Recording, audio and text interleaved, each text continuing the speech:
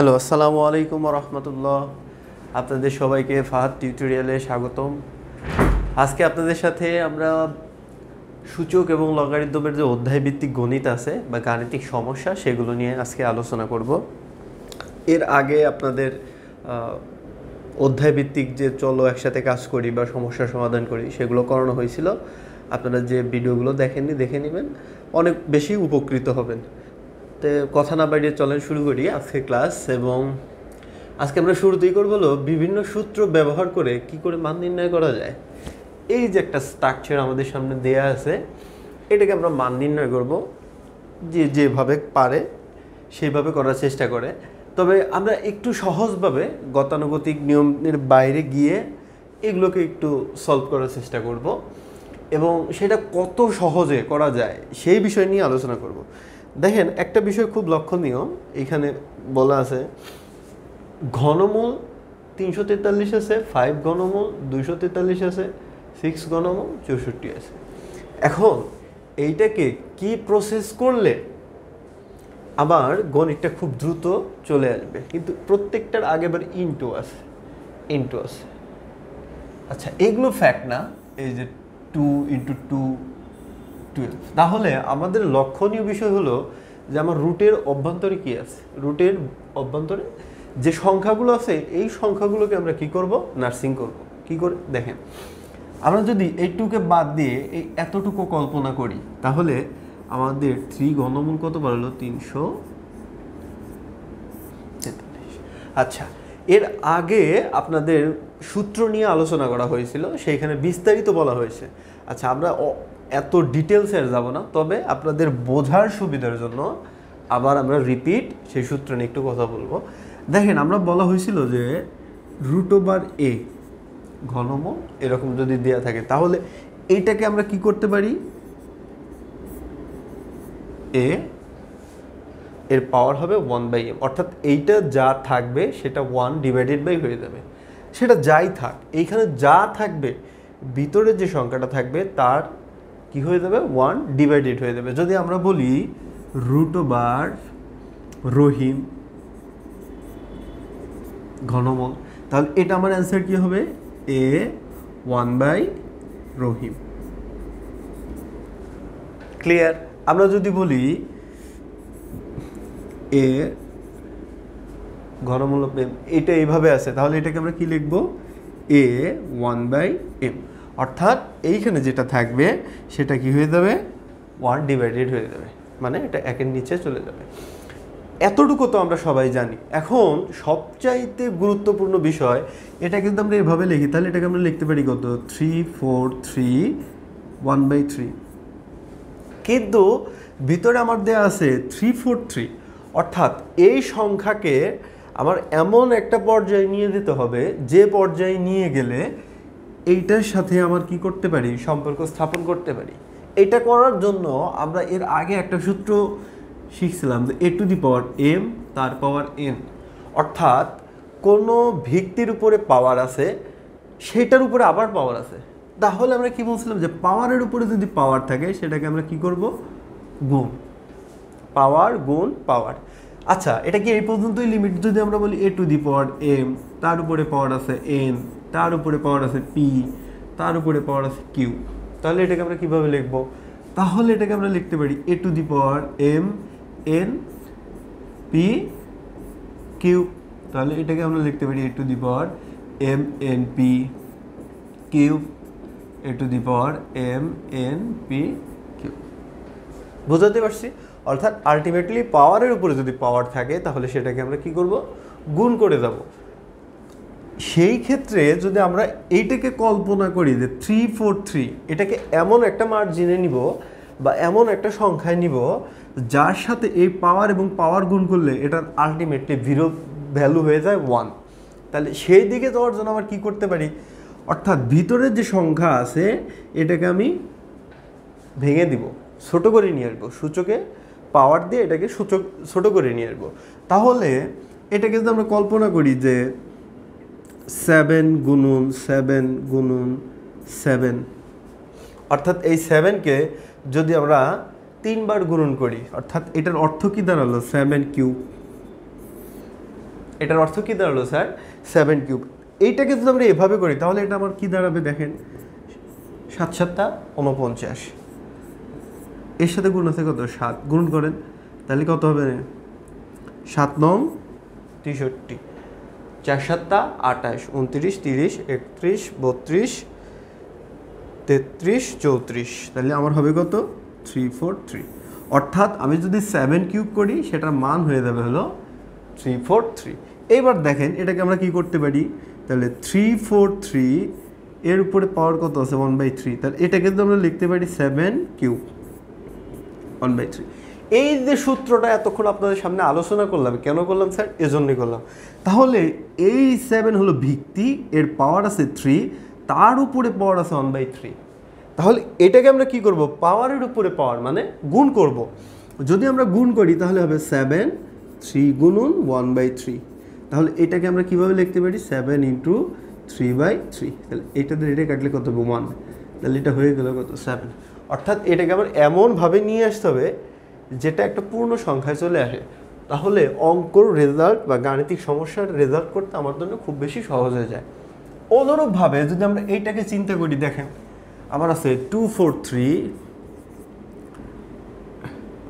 ঘনমূল five তাহলে এটাকে যদি আমরা লিখি, তাহলে আমরা কি লিখতে পারি? টু ফোর থ্রি তাহলে এটাকে করলে কত হবে? ওয়ান বাই ফাইভ অর্থাৎ এই টু ফোর থ্রিকে আমার এমন একটা সংখ্যায় নিয়ে আসতে হবে, যার পাওয়ার যদি আমি ফাইভ করি, তাহলে এই সংখ্যাটা আসবে। মানে এমন একটা সংখ্যার উপর আমার ফাইভ মানে এই পাওয়ারটা রাখতে হবে, এই পাওয়ারটা নিয়ে আসতে হবে বোঝার সুবিধার জন্য। যে এই ফাইভ এমন একটা সংখ্যার উপরে আমি রাখব, যারকে ক্যালকুলেশন করলে আমার টু ফোর থ্রি হয়। তাহলে এই ফাইভ ফাইভ কেটে গিয়ে আমার রেজাল্ট হবে ওয়ান তখন এইটা কী হবে? একটা পূর্ণ সংখ্যা আসবে। সেটা কেমন?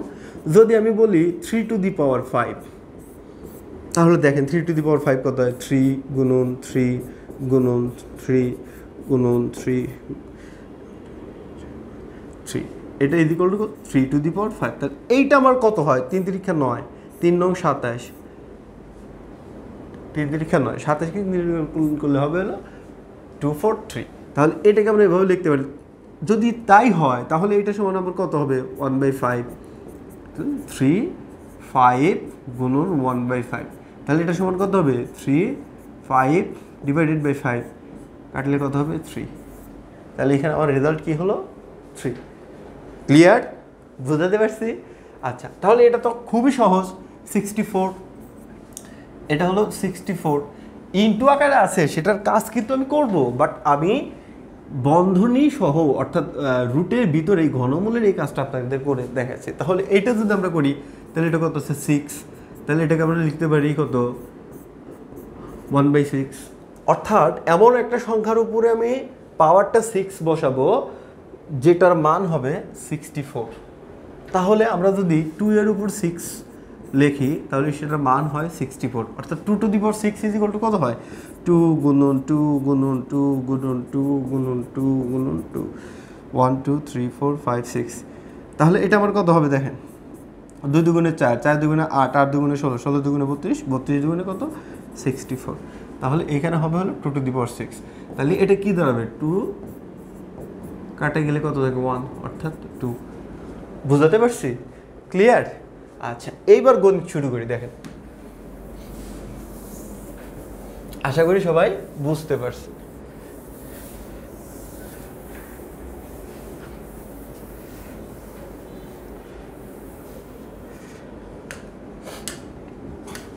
তাহলে আমরা যদি এটা ক্যালকুলেশন করি, তাহলে আমার কী হতে হবে মান নির্ণয় করার কথা বলছে, তাহলে দেখেন, এটাকে আমি লিখতে পারি টু ইন্টু এটাকে লিখব তাহলে থ্রি ফোর থ্রি হবে কত? One by three plus plus two আমার এখানে আসলো টু ফোর থ্রি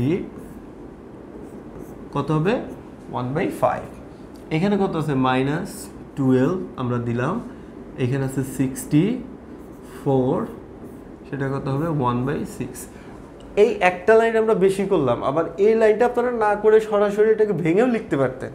কিন্তু আমরা তা করলাম না, একটু বড় হোক। বোঝার সুবিধার জন্য।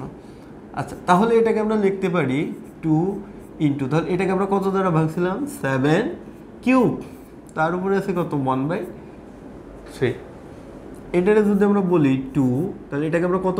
থ্রি টু দি পাওয়ার কত করছিলাম? Five one by five minus twelve এটা আমরা কত করছিলাম? Two to the power six তারপর কত? ওয়ান বাই সিক্স দেখেন, তাহলে আমাদের কত টু ইন্টু সেভেন তাহলে three divided by three plus two into three তাহলে এটা কত হবে? ফাইভ বাই ফাইভ গুণ করলে টুয়েলভ তাহলে টু টু দি পাওয়ার কত? সিক্স বাই সিক্স বোঝাতে পারছি?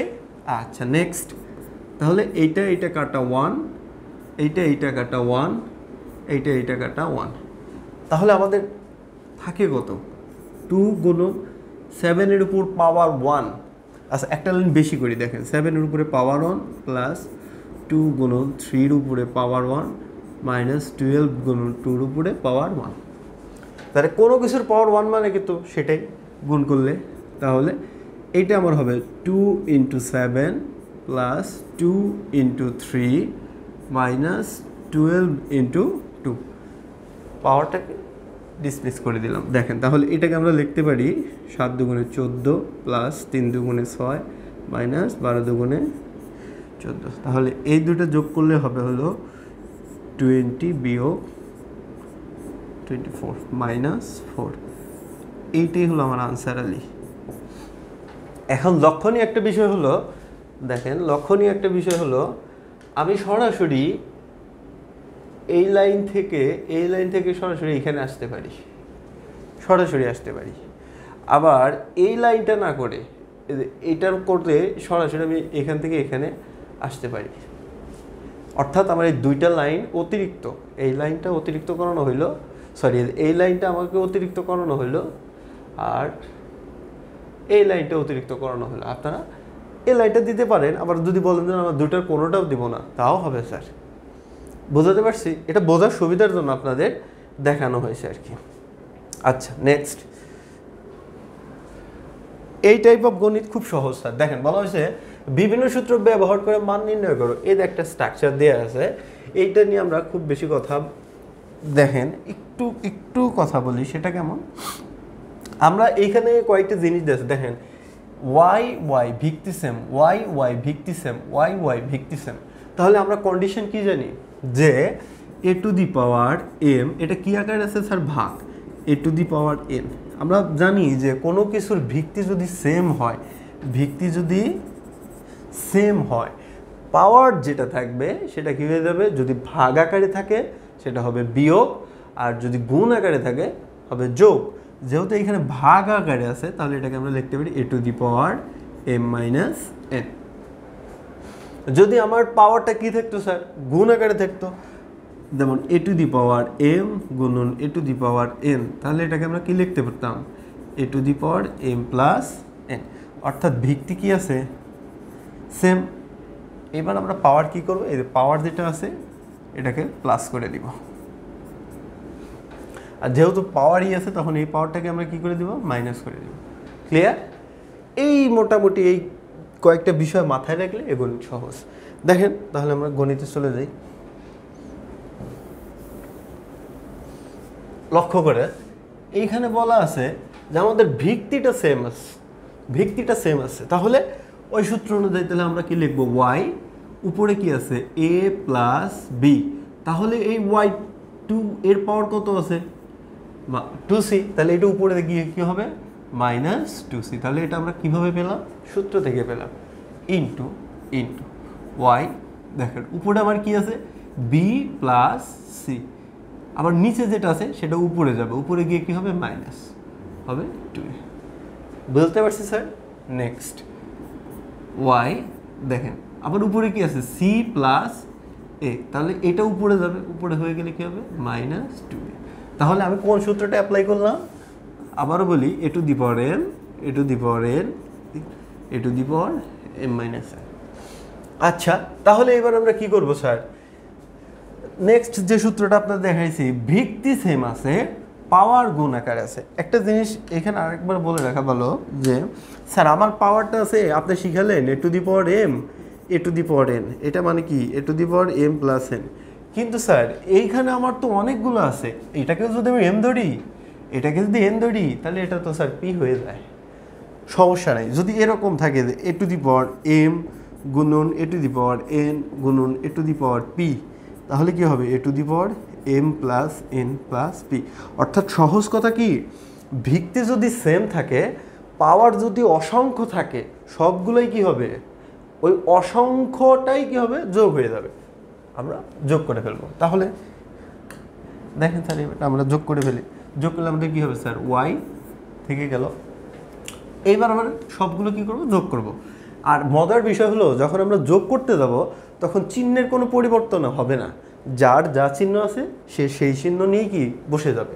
তাহলে a plus b minus two c এইখানে আছে b plus b plus c minus two a এইখানে হবে হলো plus c plus a minus two b বুঝাতে পারছি? এবার দেখেন আমরা যোগ বিয়োগ করব। তাহলে যোগের একটা সূত্র আছে কি? সমজাতীয় জিনিসের মধ্যে কি হয়? মনে রাখবেন যে সমজাতীয় জিনিস সম জাতীয় চলকের মধ্যে বা সমজাতীয় জিনিসের মধ্যে যোগ, বিয়োগ হয়। এই জিনিসটা মনে রাখবেন, দেখেন। তাহলে যদি আমরা এখানে করি, তাহলে এ এ তাহলে আমার কত হবে? Two a plus b b কত হবে? Plus two b c c plus two c আমার থেকে গেল কত? Minus two c minus two a minus two b তাহলে দেখেন plus two b minus two b কাটা। Plus two a minus two a কাটা। Plus two c minus two c কাটা। তাহলে আমার এখান থেকে যায় কত? Y to the power zero sir, আপনাদের যখন আমি বেসিক ক্লাস নিয়েছি, তখন হাজারবার বলছি যে a to the power zero is equal to কত? ওয়ান যদি বলা হয়, Manipur to the power zero তার মানটাও কী হবে? ওয়ান যদি বলা হয়, Dhaka to the power zero তার মানটাও কত হবে? ওয়ান তাহলে এটা একটা কন্ডিশন তাহলে দেখেন তাহলে এটার মান কত হয়ে যাবে? ওয়ান আমার মান নির্ণয় হয়ে গেছে এটাই কি? আনসার অর্থাৎ গণিত করার সময় কিছু ট্রিক্স আপনার মাথায় রাখতে হবে। যেমন সূত্রগুলো যদি আমি জানি গণিতগুলো আমার জন্য পানি পান্তা। আর যদি সূত্রর মধ্যে স্যার আমার নয় ছয় থাকে তাহলে স্যার আমার হবে না।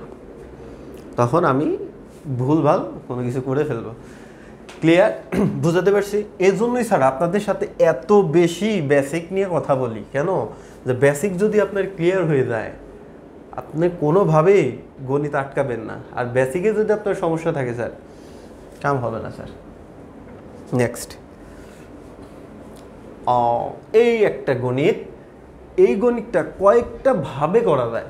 এইটাকে কয়েকটা ভাবে করা যায়। তিনটা ভাবে করা যায় স্যার আমি আপনাদের দুইটা দেখাই দিব। আর আর একটা যে আছে ওটার ফরমেশন দেখাই দিব। তবে তিনটার মধ্যে দুইটা আপনার খুবই সহজ, আর বাদ কি যেটা আছে, সেটা একটু কঠিন। এটা করার আগে আমি একটু সূত্র নিয়ে কথা বলব। আমরা কিছুক্ষণ আগে বললাম যে ভিত্তি সেম থাকলে, এই যে ভিত্তিটা সেম আছে, ভিত্তিটা কি আছে? সেম আছে। এই যে ভিত্তি সেম আছে, ভিত্তি সেম আছে। ভিত্তি যদি সেম থাকে, তাহলে পাওয়ারগুলো হবে বিয়োগ। তাহলে আমরা এটাকে এভাবে লিখতে পারি a to the power m a to the power n a to the power m minus n এই হলো একটা কন্ডিশন গেল। আর একটা কন্ডিশন কি? এই যে এইখানে এটা বোঝানোর জন্য আমি একটু আপনাদের সময় নিব, দেখেন। সেটা হলো, আমার পাওয়ারের উপরে যদি পাওয়ার থাকে, আমি কি বললাম? যে পাওয়ারের উপরে পাওয়ার আছে, তাহলে সেটাকে আমরা কি করব? গুণ করে দিব এখন, এইটাকে যদি আমি একটু সিস্টেম করি এটাকে যদি আমি সিস্টেম করি কেমন? যে আমার এরকম আছে যে a to the power m plus n minus p. বুঝাতে পারছি? আচ্ছা আর ভিতরে আছে হলো আহ, আহারে। দেখেন এ টু দি পাওয়ার এখানে আমার আছে হলো পি প্লাস কিউ এখানে আছে পি মাইনাস কিউ প্লাস ধরেন সি। এরকম আছে। তাহলে এই যে ভিতরে আমার পাওয়ার আছে, উপরে পাওয়ার আছে পাওয়ার এবং পাওয়ার কি হয়? গুণ করা হয়। এখন এইটাকে আমি কয়েকটা ভাবে লিখতে পারি। এটা বোঝানোর জন্য যদি আমরা এটাকে বলি a plus m plus n minus p দিলাম। তাহলে এটাকে আমি কতভাবে লিখতে পারি? এটাকে আমি এভাবে লিখতে পারি। A to the power m into a to the power n into a to the power minus p এটাকে কিন্তু আমি এভাবে লিখতে পারি। এর অর্থ কি দাঁড়াল? যে ভিত্তি সেম আছে পাওয়ারগুলো কি করব? যোগ করব। তাহলে পাওয়ারগুলো যদি যোগ করি, আমার এটাই হয়। অর্থাৎ এখান থেকে এইখানে আসা যায়। এটাকে আমি আরেকটা ভাবে লিখতে পারি। সেটা কীভাবে লিখতে পারি? এটা এটা একটু পরে দেখাই। দেখেন, এটাকে আমি আরেকটা ভাবে লিখতে পারি। A to the power m plus n into a to the power minus p যদি আমি এটাকে কি করি? সংযোগ করি, কি হবে? A to the power m plus n minus p আবার এটাকে আমি আরেকটা ভাবে লিখতে পারি, a to the power m minus p into a to the power n. তাহলে এটা আমার কি দাঁড়াবে? যদি সংযোগ করি, a to the power m minus p plus n. তাহলে এটাকে একদম সাদায় লিখি, a to the power m plus n minus p. Ultimately আমার একই কথা হয়ে গেল। একই বিষয় হয়ে গেল না? একই বিষয় হয়ে গেল। তবে এইখানে যে বিষয়টা দেয়া আছে, যে পাওয়ারের উপরে পাওয়ার আছে এটাকে আমরা কীভাবে লিখতে পারি? তাহলে এটাকে লেখার জন্য আমি যদি বলি যে z to the power a divided by z to the power b তাহলে এইখানে আমার পাওয়ার আছে a plus b minus c তাহলে এইটার তো আমার ভিত্তি সেম এটার আমার কি? ভিত্তি সেম যেহেতু আমার ভিত্তি সেম পাওয়ারটা কী হয়ে যাবে? ভাগ আকারে আছে, বিয়োগ হয়ে যাবে। তাহলে আমি লিখতে পারি z to the power a minus b তার উপরে আমার পাওয়ার আছে কত? A plus b minus c দেখেন, একটা বিষয় খুব লক্ষণীয়। এখানে আছে এ মাইনাস বি এখানে আছে এ প্লাস বি এখন আমরা যদি এটাকে এভাবে নিয়ে আসতে পারি a plus b into a minus b তাহলে আমার সূত্র কী হবে? A square minus b square দেখেন, এই সূত্রটা আমার দাঁড়ায় যায় না। তাহলে আলটিমেটলি এটা আমার অনেক ছোট হয়ে আসলো। তাহলে এইটা করার জন্য এটাকে আমি কীভাবে লিখতে পারি? Z to the power a minus b তার সাথে আমি নিলাম এ প্লাস বি কিন্তু আবার মাইনাস সি কিন্তু, এই যে মাইনাস সি কিন্তু রয়ে গেল যে মাইনাস সি রয়ে গেল। তাহলে এই মাইনাস সি তো একে নেওয়ার সক্ষমতা রাখে, অবশ্যই রাখে। কেন? কারণ এই এ মাইনাস বির সাথে এ প্লাস বির যে সম্পর্ক, এই মাইনাস সির সাথে এ মাইনাস বির ঠিক একই সম্পর্ক। তাহলে এটাকে আমরা কি করব? Z into minus c a minus b এটাকে আলাদা করে দিতে পারি। এই ফরমেশন যদি নিয়ে আসি, দেখেন আলটিমেটলি এটা এটাই দাঁড়ায়। কেমনে? জেড ইন্টু কত হবে? A plus b a minus b minus c a minus b তাহলে এটাকে যদি গুণ করা যায়, তাহলে গুণ ফলটা আমার কী হবে? এইরকম হবে। A plus b minus c into a minus b clear আচ্ছা এবার দেখেন আমরা গণিতে চলে যাই। বোঝাতে পারছি তো সবাইকে?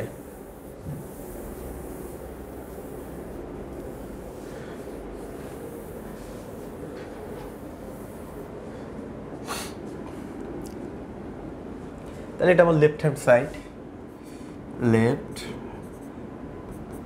side দেখেন আমরা এইখান থেকে করি লেফট হ্যান্ড সাইড তাহলে এটাকে আমরা কি করতে পারি? Z a minus b power কত আছে? A plus b minus c বোঝাতে পারছি?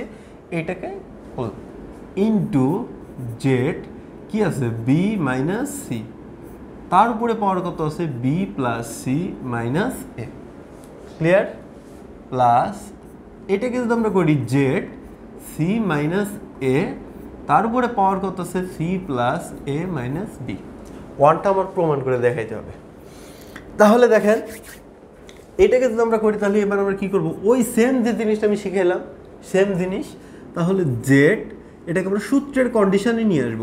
A minus b a plus b আমার বাকি রইল কত? মাইনাস সি তাহলে ইন্টু জেড মাইনাস সির সাথে আমার কি যাবে? এ মাইনাস বি বুঝতে পারছি, স্যার? তাহলে এবার এইটার কাজ। দেখেন জেড বি মাইনাস সি তার সাথে যাবে কত? বি প্লাস সি আবার বাকি আছে কত? মাইনাসে তাহলে যে মাইনাস এ কার সাথে দেবে b minus c b minus c বুঝতে পারছি? আচ্ছা। এইবার দেখেন ইন্টু জেড এটা হবে হলো c minus a c plus a into z minus বির সাথে যাবে কত? C minus a c minus a clear হ্যাঁ? আচ্ছা। এইবার আমরা এটাকে কি করব স্যার? গুণ করে দিব। এই দুটাকে সূত্রে ফেলব, এই দুটাকে সূত্রে ফেলব, এই দুটাকে সূত্রে ফেলব। তাহলে যদি আমি সূত্রে ফেলি, দেখেন, এই দুটাকে সূত্রে ফেলব। এই দুটোকে সূত্রে ফেলব। এই দুটোকে সূত্রে ফেলব তাহলে আমি যদি সূত্রে ফেলি, তাহলে সূত্র কি হবে? A plus B into A minus B class ষষ্ঠ শ্রেণীতে পড়ছেন। এটার মানে কত?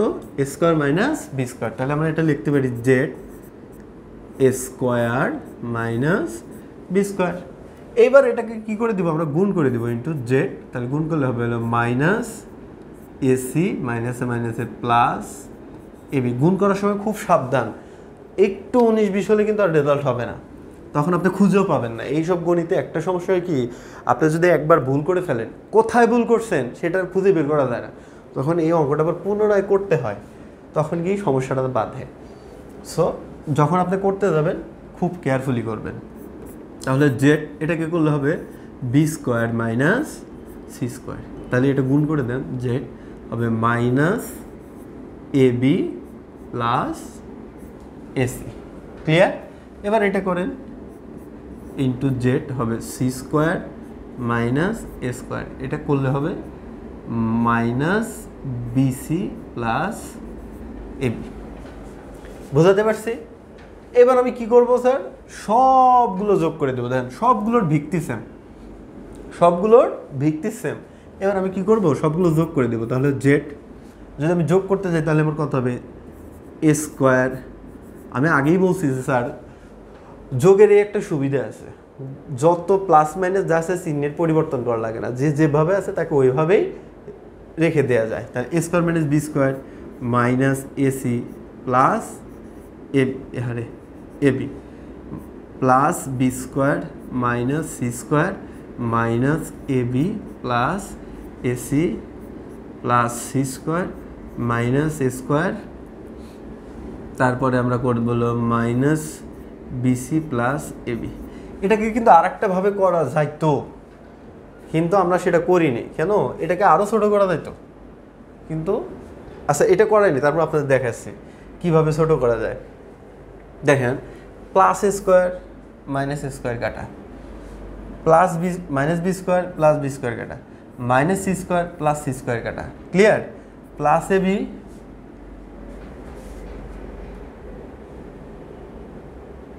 sorry এদের মাইনাস এই যে বললাম না, একটু উনিশ বিশ হলে আর এটাকে কি করতে পারবেন না? এটা হবে হলো minus BC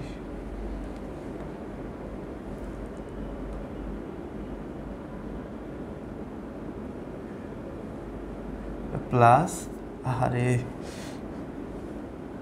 minus plus BC তাহলে এটা হবে হলো আমার, এ বি না, এটা হবে হলো বিসি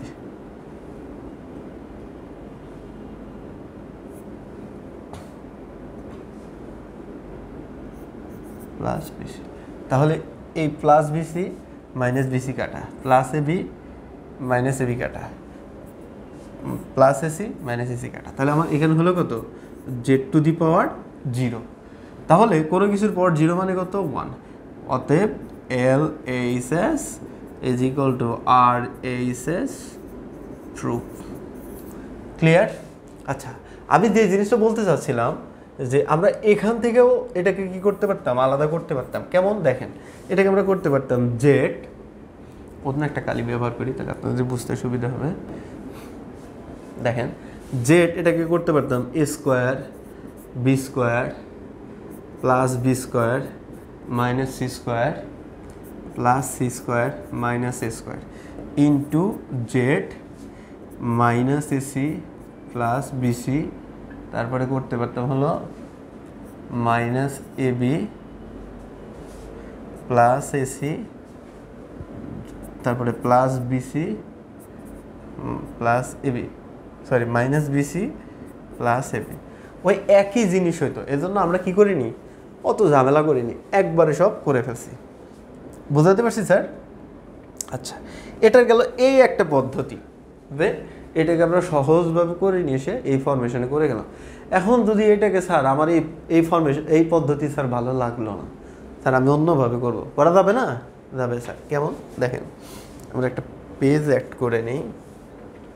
আমাদের কোশ্চেনটা ছিল জেড একটু দেখার জন্য কোশ্চেনটা দেখি Z A B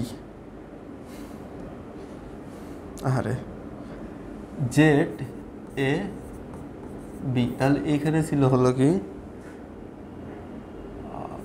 A plus B minus C ছিল হ্যাঁ?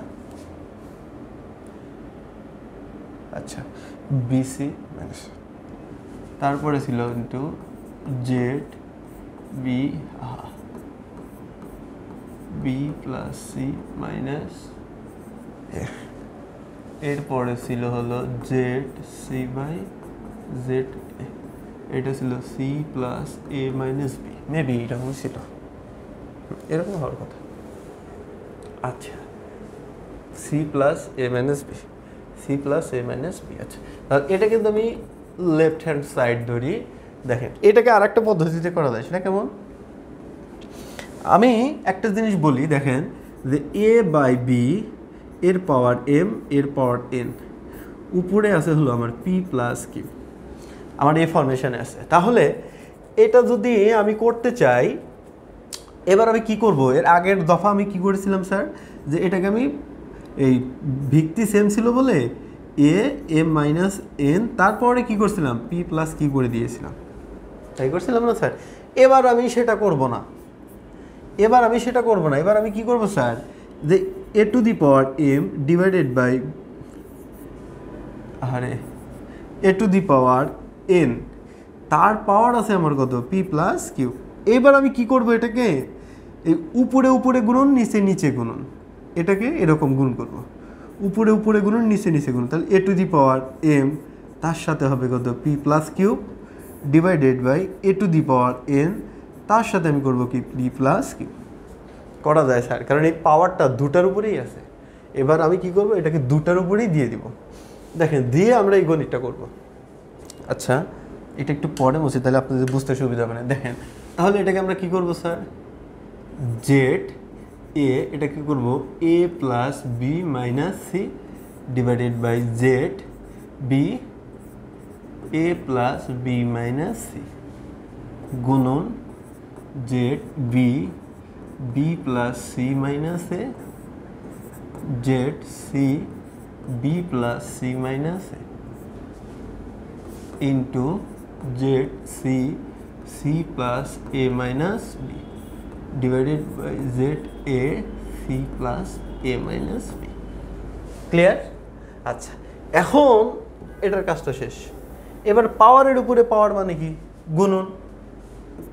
কন্ডিশন কি? পাওয়ারের উপরে পাওয়ার তাহলে A to the power M A to the power N হবে A to the power M N তাহলে সেই হিসাবে এটাকে আমরা করতে পারি জেড এ স্কোয়ার এটা দিয়ে রেটে গুণ করলে A square A B minus AC divided by Z এটা দিয়ে এটারে গুণ করলে হবে A B plus B square minus BC গুণ গুণ করেন। Z B square plus BC minus A B আহারে জেড তাহলে এটা দিয়ে এটারে গুণ করলে হবে BC plus C square minus AC গুণন জেড, এটা দিয়ে এটারে গুণ করলে হবে C square plus AC minus, এটা দিয়ে এটা গুণ করলে বিসি ডিভাইডেড বাই জেড, এটা দিয়ে এটারে গুণ করলে AC plus A square minus AB এবার আমরা কি করব? উপরে উপরে যোগ করব, নিচে নিচে যোগ করব। উপরের ভিত্তিগুলো সেম আছে। পাওয়ারগুলো যোগ করে দিব, নিচের ভিত্তিগুলো সেম আছে পাওয়ারগুলো যোগ করে দিব। তাহলে দেখেন জেড হবে A square plus A B minus AC যোগ করেন plus B square plus BC minus A B plus C square plus AC minus BC divided by নিচেরটাও আমরা কি করে দিব? যোগ করে দিব। তাহলে Z A B plus B square minus BC plus BC plus C square minus AC plus AC plus A square minus AB clear আচ্ছা sir দেখেন এবার আমরা কি করতে পারি। প্লাস এবি মাইনাস এবি কাটা। প্লাস এসি মাইনাস এসি কাটা। Plus BC minus BC কাটা। নিচে দেখেন নিচে নিচে plus AB minus AB plus BC minus BC AC AC তাহলে উপরে আমার কি থেকে যায়? দেখেন, উপরে আমার থেকে যায় Z A square plus B square plus C square নিচেও আমার সেম জিনিস থেকে যায় A square plus B square plus C square সাদায় লিখলাম, sir. A square plus B square plus C square এইবার, স্যার, ভিত্তি সেম আছে। এবার এটাকে আমি কি করব, স্যার? উপরে নিয়ে যাব। তাহলে পাওয়ারগুলো কি হয়ে যাবে? বিয়োগ। তাহলে হবে Z A square plus B square plus C square. এই পাওয়ারগুলো যখন আমি উপরে নিয়ে যাব, তখন চিহ্নের পরিবর্তন হবে হবে A square minus B square minus C square. কি হলো sir? Z to the power zero is equal to কত? ওয়ান অতএব L H S R H S proved বোঝাতে পারছি স্যার? Clear sir? আচ্ছা। আর একটা পদ্ধতি কি আছে স্যার? আর একটা পদ্ধতি হলো, এটা এইখানে একটু দেখাই, কিন্তু ওটা ভুল হওয়ার পসিবিলিটি অনেক বেশি থাকে। দেখেন, এইখানে এটাকে আমরা কি করতে পারি? অন্য একটা কালিয়া ব্যবহার করি, দেখেন। অর এটাকে আর একটা পদ্ধতি কি করা যায়? জেড এ মাইনাস বি তারপরে কি আছে? A plus B minus C আছে, দেখেন।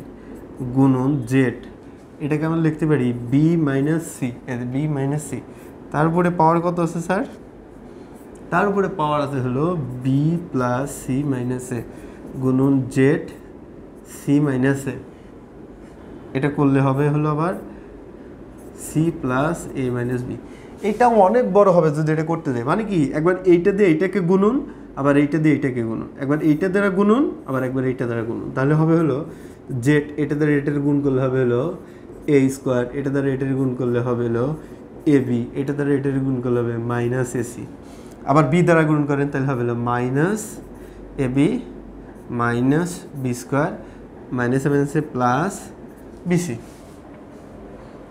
আবার এটা সেম গুণন জেড টু দি পাওয়ার হবে হলো B square plus BC minus AB আবার গুণ করেন minus BC minus C square plus AC আবার এটা গুণ করতে হবে। জেড তাহলে এটা হলো C square plus AC minus BC এটা দ্বারা এটা গুণ করলে হবে minus AC minus A square plus AB দেখেন, কত বড় হয়ে গেল। এবার হলো, এটাকে আমরা কি করব স্যার? যেহেতু গুণ আকারে আছে, এটা আমরা যোগ করে দেবো। যদি যোগ করে দেই, তখন আমার সব কাটা যাবে, দেখেন। আমরা যদি এটাকে নাই মানে এক্স জেডটাকে আমরা মোটামুটি ধরে নিলাম, একটা জায়গায় আছে। পরের লাইনে আমরা এটা জেডটাকে ধরে নিলাম, এটা একটা জায়গায় আছে। তাহলে এগুলো সব যোগ আকারে আছে। তাহলে দেখেন plus A B minus A B তারপরে আছে plus AC minus AC minus BC BC এই যে বিসি তারপরে যে মাইনাস এ বি কই আর আছে স্যার এরকম? এই যে প্লাস এসি এই এসি এটার সাথে চলে গেল কই?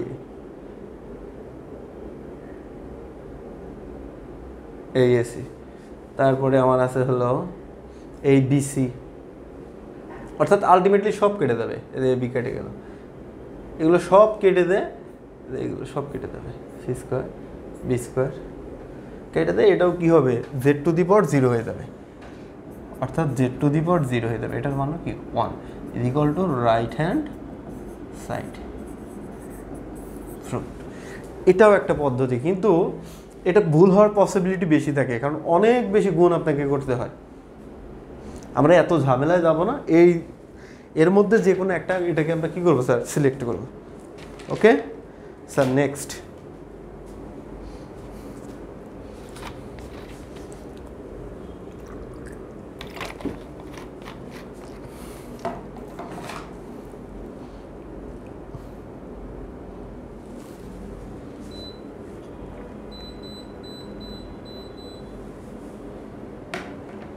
আচ্ছা এবার বলছে যে নিচের সূচকগুলোকে সমতা লগের মাধ্যমে প্রকাশ কর এই যে সূচক আছে, এটাকে আমরা সমতা লগের মাধ্যমে প্রকাশ করব এবং বৈজ্ঞানিক ডিভাইস ব্যবহার করে এক্সের মান বের করো। আমরা একটা দেখাবো যে বৈজ্ঞানিক ডিভাইস ব্যবহার করে মানটা নির্ণয় করতে বলছে না, এটা একটা দেখাবো। কিন্তু এটা বলার আগে আমরা একটা সূত্র নিয়ে আলোচনা করি। সূত্রটা কি? যে A to the power X is equal to N এটা হলো আমার সূচকের রূপ। এটা হলো কি? আমার সূচকের রূপ। এই সূচকের রূপ থেকে আমাকে নিতে হবে লগের রূপে। লগে রূপান্তর করতে হবে। রূপান্তর বোঝেন তো মানে পরিবর্তন করা। এটা যদি আমি লগে নেই, তাহলে এটাকে কি হবে? অর্থাৎ এইখানে যে পাওয়ার থাকবে, এই যে পাওয়ারটা থাকবে বা সূচকটা থাকবে, যখন আমি এটাকে লগে কনভার্ট করব, তখন এই সূচক বা পাওয়ারটা আলাদা হয়ে যাবে। আলাদা হয়ে সে আলাদা হয়ে যাবে। এইবার আরেকটা বিষয় লক্ষণীয় হলো সূচকের ভিত্তি। সেম সূচকের ভিত্তি এবং লগের ভিত্তি একই। এটা মাথায় রাখবেন। সূচকের যে ভিত্তি থাকবে লগেতে আমি কনভার্ট করব, তখন ওই সূচকের ভিত্তিটা, লগের ভিত্তিটা একই হবে। সেক্ষেত্রে তাহলে এটাকে আমি লগ তাহলে এর ভিত্তি কত আছে? এ তাহলে এটার ভিত্তিও হবে হলো এ এই যে আর্গুমেন্ট তখন এটা এখানে বসে যাবে। এন অর্থাৎ X is equal to log A ভিত্তিক এন এটা হলো সিস্টেম আর এটা মনে রাখার জন্য যদি আমি বলি যে একজন ব্যক্তি যখন নির্বাচন করে, নির্বাচন করার সময় ও কারোর উপর ভিত্তি করে করে, যার উপরে ভিত্তি করে সে নির্বাচন করে, নির্বাচন শেষ হওয়ার পরে যখন সে পাওয়ার পায় পাওয়ার মানে কি? পাওয়ার পাইলে তো সে নতুন একটা চেয়ার পাবে, তখন এতে সে নতুন আলাদা একটা চেয়ার নেয়। আর যার উপরে ভিত্তি করে সে নির্বাচনে এই চেয়ারটা নিছে সেই ব্যক্তিটা কী হয়ে যাবে নিচে পড়ে থাকবে। এই লগের নিচে থাকবে। আর তার রেজাল্ট হবে এই। ক্লিয়ার এই ছিল মোটামুটি সূত্র। এর আগেও আপনাদের অনেক এই নিয়ে আলোচনা করা হয়েছে।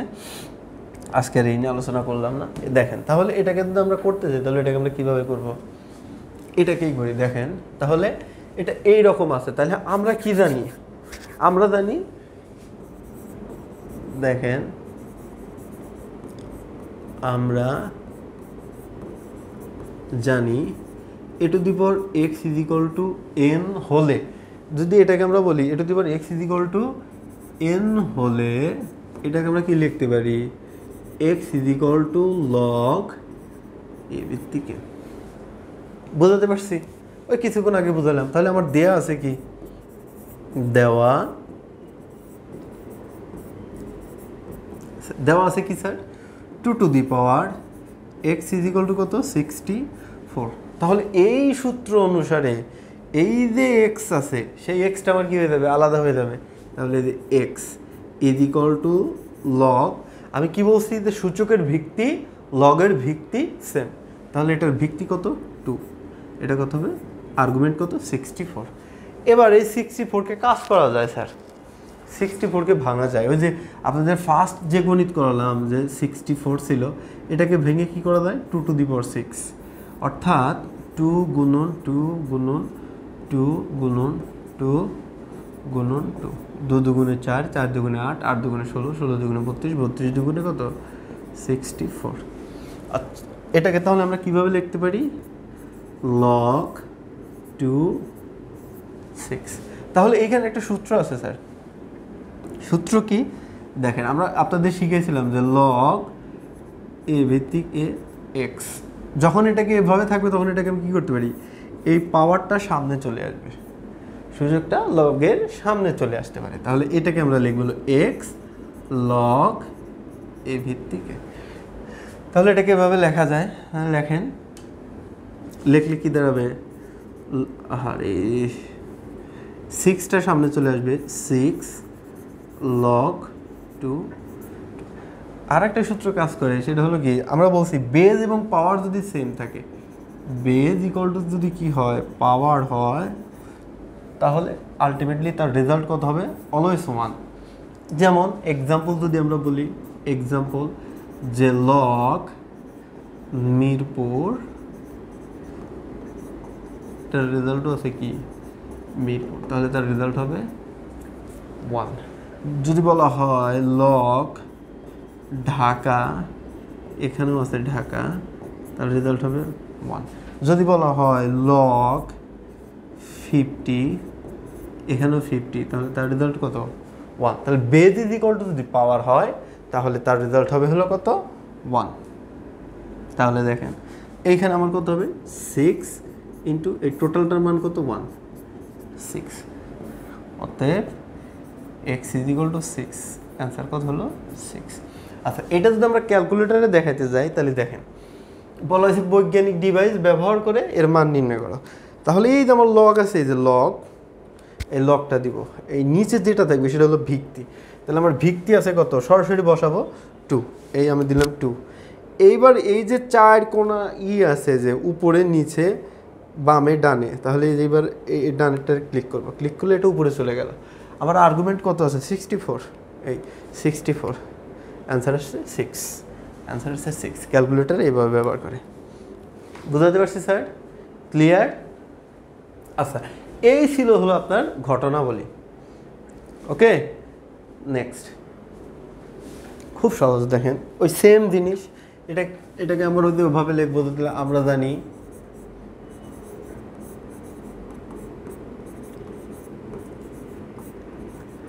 তাহলে আমরা কি জানি? A to the power X is equal to N হলে এটাকে আমরা কীভাবে লিখতে পারি? X is equal to log A ভিত্তিক এম তাহলে দেওয়া আছে দেওয়া আছে দেওয়া আছে কি sir? One point two X is equal to কত? হান্ড্রেড তাহলে এটাকে আমরা লিখতে পারি X is equal to log one ভিত্তিক টু হান্ড্রেড। এটাকে আরেকটাভাবে সরাসরি এখান থেকে মান আনা যায়, আবার এটাকে X is equal to log of ten যদি আমি নিয়ে নিই এইখান থেকে, সরাসরি যদি এখানে আসি, তাহলে লগ অফ টেন নিয়ে দিলে টেন অফ হান্ড্রেড ভাগ করে log ten of one point two. Result same. দেখেন, তাহলে এটাকে যদি আমরা করি, তাহলে কি হয়? সরাসরি log one point two hundred. তাহলে আমার এক্সের ভ্যালু আসলো fifty five point fifty five eight five যদি এটাকে আমি সেম ওয়েতে করি লগ টেন ভিত্তিক হারে টেন হান্ড্রেড ভাগ লগ টেন ব্যক্তিগত আছে ওয়ান পয়েন্ট সেম জিনিস আছে। X is equal to twenty five point twenty five eight five এটাই কি? আনসার যে যেভাবে করে স্যার আপনি এখান থেকে এখানে গিয়ে এসেও করতে পারবেন আবার এখান থেকে মান বসাই দিয়েও করতে পারবেন। নেক্সট আচ্ছা বলা হয়েছে তাহলে নিচে সেম জিনিস। তাহলে আমরা এটাকে কি লিখব? যে আমরা জানি এগুলো কিন্তু লিখতে হবে, এজন্য আমি বারবার আপনাদের লিখে দিচ্ছি। আমরা জানি কি? A to the power x is to n হলে ঘটনা চক্রে কী দাঁড়াবে? X is to log a n তাহলে দেওয়া আছে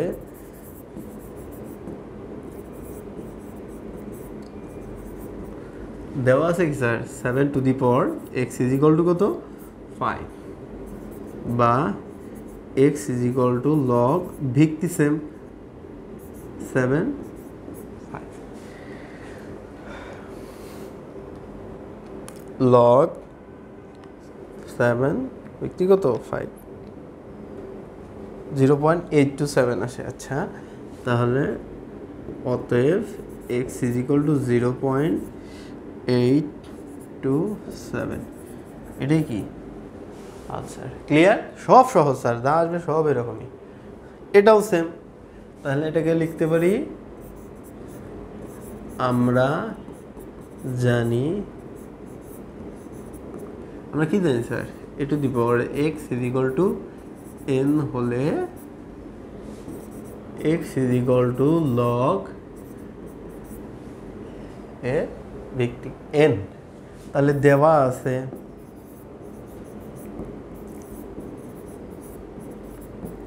দেওয়া আছে স্যার কি? যে two by three two by three আছে দিয়ে ভয় পায় না, এটা কিন্তু অসুবিধা নেই। Two by three x is equal to কত? সেভেন বা তাহলে x is equal to log এইখানে যা থাকবে টোটালটাই ভিত্তি হবে। টু ভাগ থ্রি প্লাস সেভেন বসান তাহলে এটা কি কী করবেন? যে লগ এই যে টু ভাগ থ্রি দেন এই সেভেন মাইনাস পয়েন্ট আসে সমস্যা নেই। বা x is equal to minus four point seven nine nine আচ্ছা যাই হোক অতএব x is equal to minus four point seven nine nine এটি কি? আনসার আলি বুঝতে পারছি স্যার অর্থাৎ আলটিমেটলি সব কি একরকম।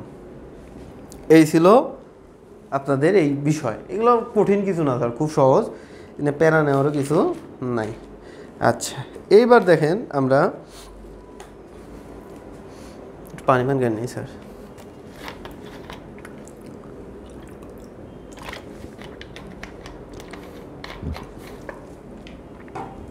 নেক্সট।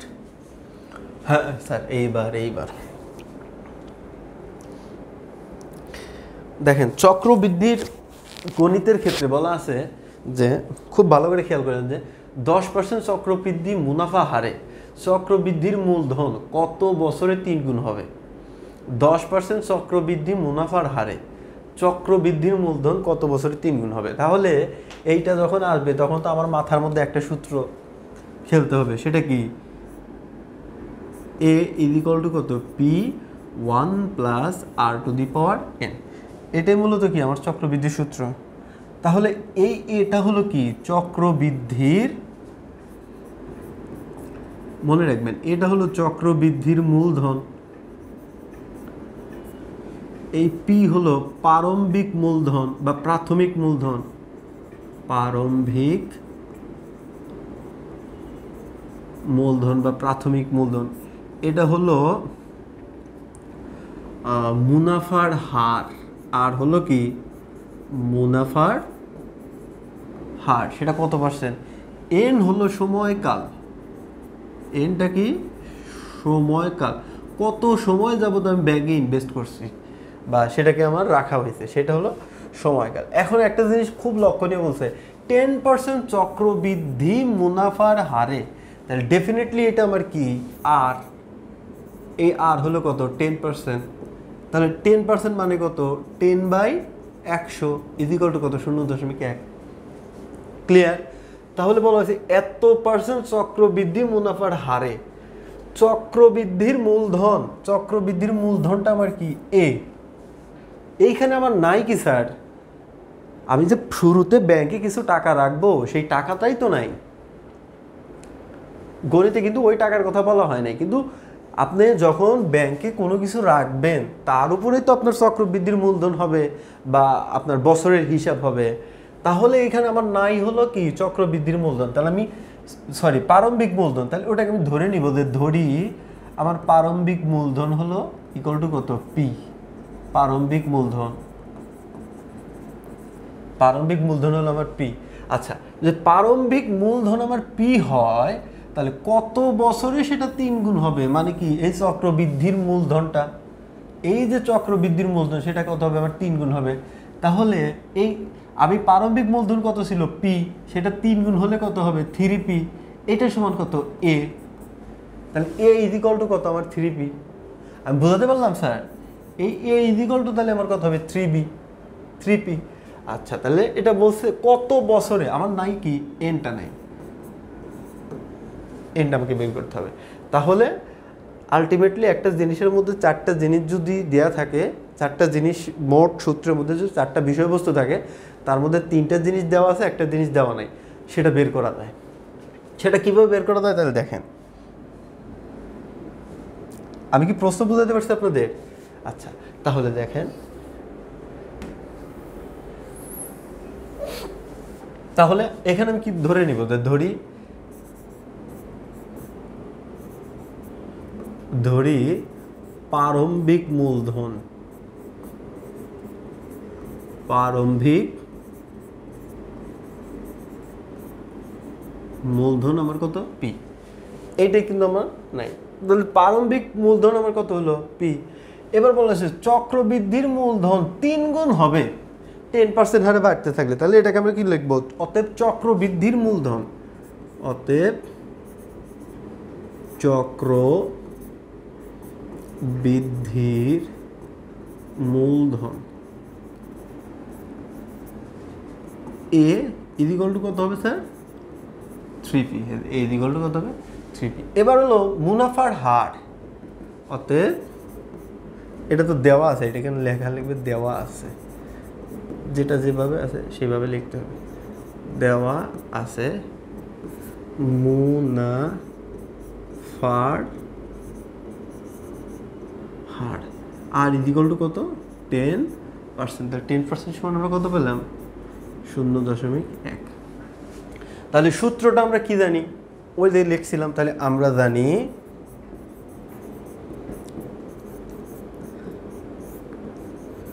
আমরা জানি a is equal to p one plus r to the power n এবার দেখেন আমার কি কি আছে? তাহলে এর আমার কত আছে? Three p three p is equal to কত আছে?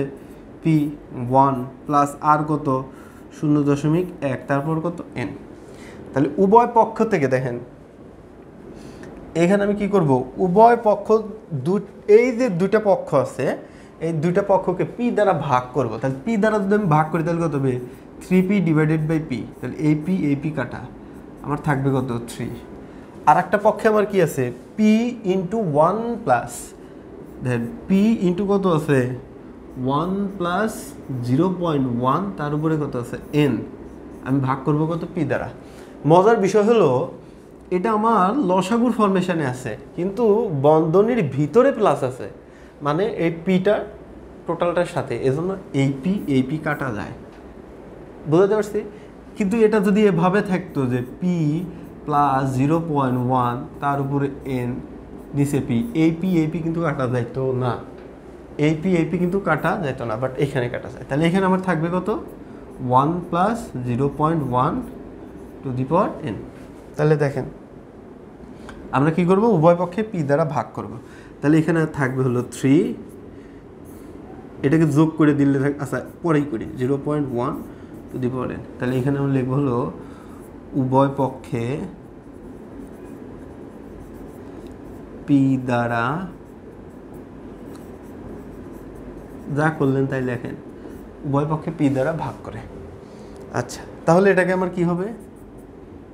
থ্রি যোগ করলে হবে one point zero one sorry one point one zero one কেন হবে? তাহলে হবে one point one to the power n clear এইবার এটা আমার কিসে আছে স্যার? সূচক। এটা এখন আমার কিসে আছে? সূচক। তাহলে এটাকে আমি কি করব, স্যার? লগে কনভার্ট করব। তাহলে লগে কনভার্ট করার সূত্র কি? যে ব্যক্তি পাওয়ারে আছে, সে আলাদা চেয়ার নিয়ে নিবে। যার জন্য পাওয়ারে আছে, আমি বলছি যে লগের ভিত্তি আর সূচকের ভিত্তি সেম তাহলে one point one one point one দিলাম। আর্গুমেন্ট কত? থ্রি এই হলো থ্রি এবার ক্যালকুলেটারে চাপ দিলে কি হবে, স্যার? রেজাল্ট বাহির হয়ে যাবে। তাহলে হবে লগ ব্যক্তিগত ওয়ান পয়েন্ট আরে ক্যালকুলেটার কথা বলে না। লগ ওয়ান পয়েন্ট ওয়ান কত আছে স্যার থ্রি তাহলে বা এন ইদিকলটা আমরা কত পেলাম? Eleven point five two six এটা এন অ্যাপ্রক্সিমেটলি টুয়েলভের কাছাকাছি। এই মানটা কত? টুয়েলভের কাছাকাছি। অবশ্যই এখানে আমার প্রায় দিতে হবে। তাহলে এই এন এনটাকে কি দ্বারা প্রকাশ করছে, স্যার? এনটা হলো আমার, এই এনটা হলো কত, স্যার? বছর। তাহলে এন ইজিকল টু কত? টুয়েলভ বছর। অর্থাৎ বারো বছর পর আমি প্রথমে যেই মূলধনটা রেখেছিলাম, সেটা তিন গুণ হবে, চক্রবৃদ্ধির মূলধন হয়ে। সেটা হবে তিন তিন গুণ হবে। অর্থাৎ বারো বছরে সেটাকে তিন গুণ হবে। তাহলে এটা আপনার লিখে দিতে পারেন। অতএব বারো বছর পর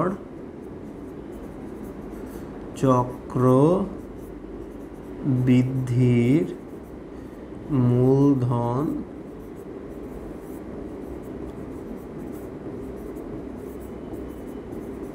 তিন গুণ হয় বারো বছর পর চক্রবৃদ্ধির মূলধন তিন গুণ হবে। বুঝাতে পারছি স্যার? এই ছিল হলো আপনার গণিত। আশা করি বুঝতে পারছেন যে কত পার্সেন্ট মুনাফার হারে? আমরা যদি মুনাফার হারে বলি, তাহলে তো বুঝতেই পারলাম সেটা হলো আর আর চক্রবৃদ্ধির মূলধন কত বছরে তিন গুণ হবে? এটা চেঞ্জ করে দিয়ে দিতে পারে, সমস্যা নেই। চেঞ্জ করে দিলে তো আর অসুবিধা নেই। ওরা চেঞ্জ করবে, আপনিও চেঞ্জ করবেন। নেক্সট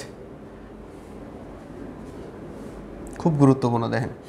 বলো স্যার করোনা ভাইরাসের নাম তোমরা সবাই জানো। জি স্যার দুই হাজার কোভিড নাইন্টিন দুই হাজার উনিশ সালে যেটা আবির্ভাব ঘটে, এই ভাইরাস দ্রুত ছড়ায়। আমরা তো জানি যে করোনা ভাইরাস জ্যামিতিক হারে বাড়ে।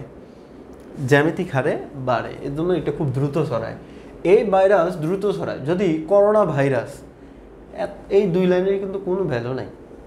গণিতের জন্য এর কোনো কাজ নেই। এখন থেকে কাজ শুরু। যদি করোনা ভাইরাস একজনের থেকে প্রতিদিন তিনজনের ছড়ায়। কি বলছে? যে একজন ব্যক্তি আক্রান্ত করে, এই একজন প্রতিদিন আক্রান্ত করে, কয়জনকে? তিনজনকে। প্রতিদিন বলতে একদিনে। বুঝতে পারলাম?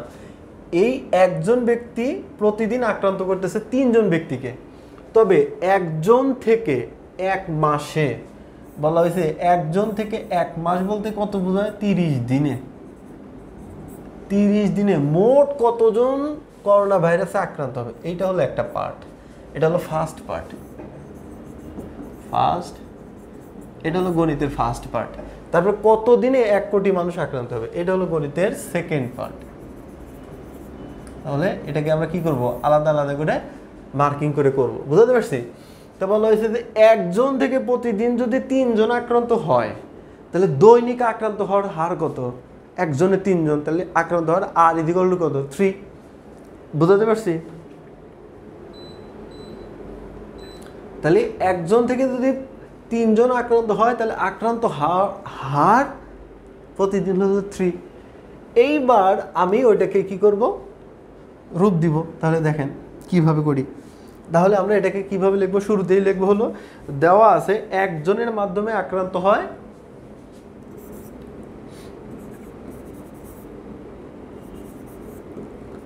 দেওয়া আছে। একজনের মাধ্যমে আক্রান্ত হয় কতজন?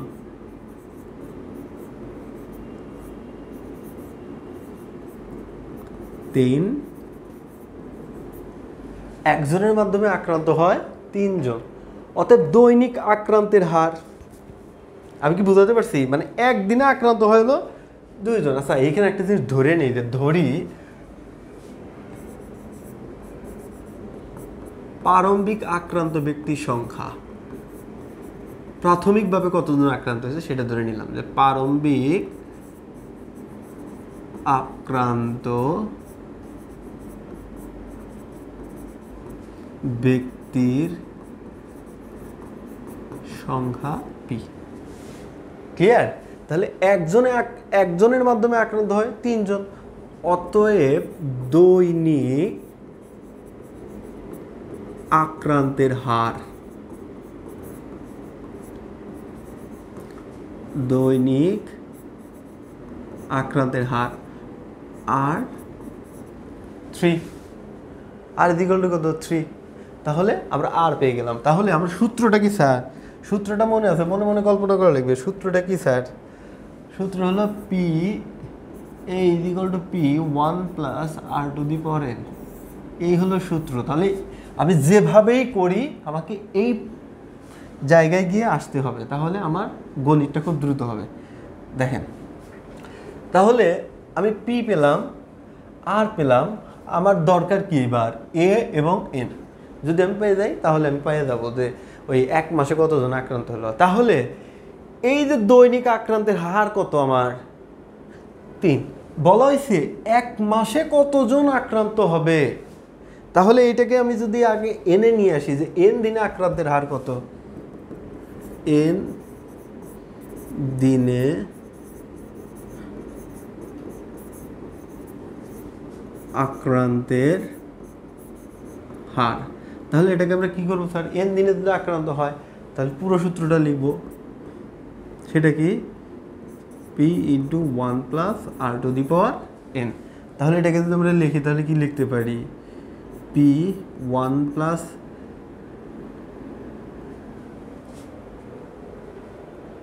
ও স্যার এখানে একটা গুরুত্বপূর্ণ কথা।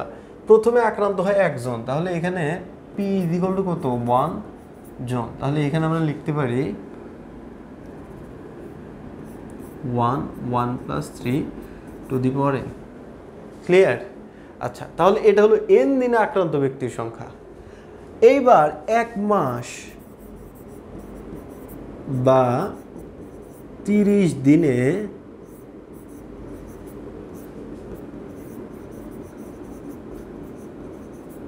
আক্রান্ত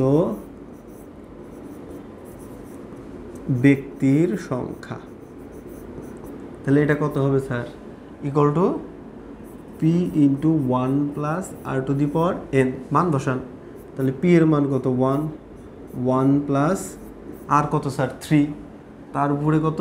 এন কত? তিরিশ। ক্লিয়ার তাহলে ওয়ান গুণন ফোর তিরিশ। তাহলে চার অক্ষে চার four to the power thirty তাহলে করেন four to the power thirty হলে কত হয়? Four to the power thirty ওরে বাপরে।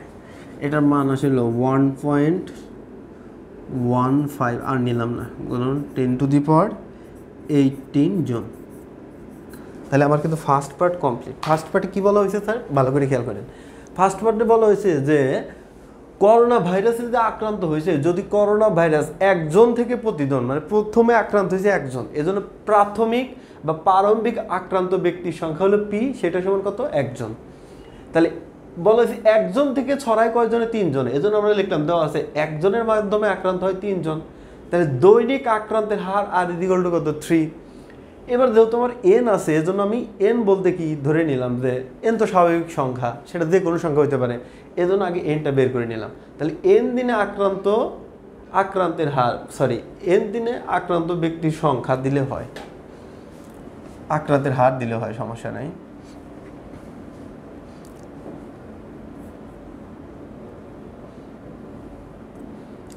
আক্রান্ত। আরে।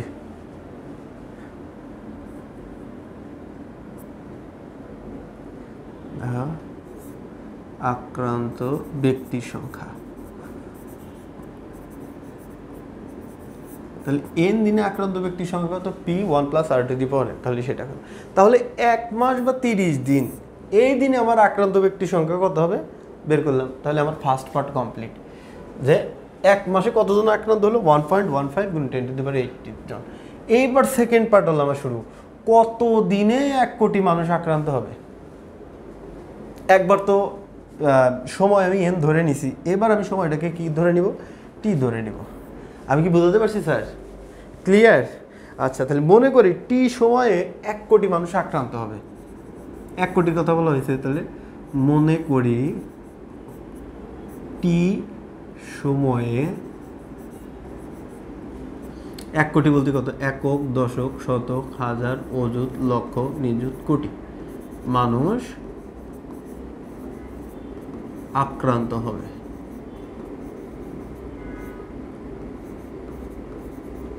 তাহলে আমি ধরে নিলাম যে মনে করি টি সময় এক কোটি মানুষ আক্রান্ত হবে। তাহলে যদি হয় তাহলে শর্ত মতে আমার কি দাঁড়াবে?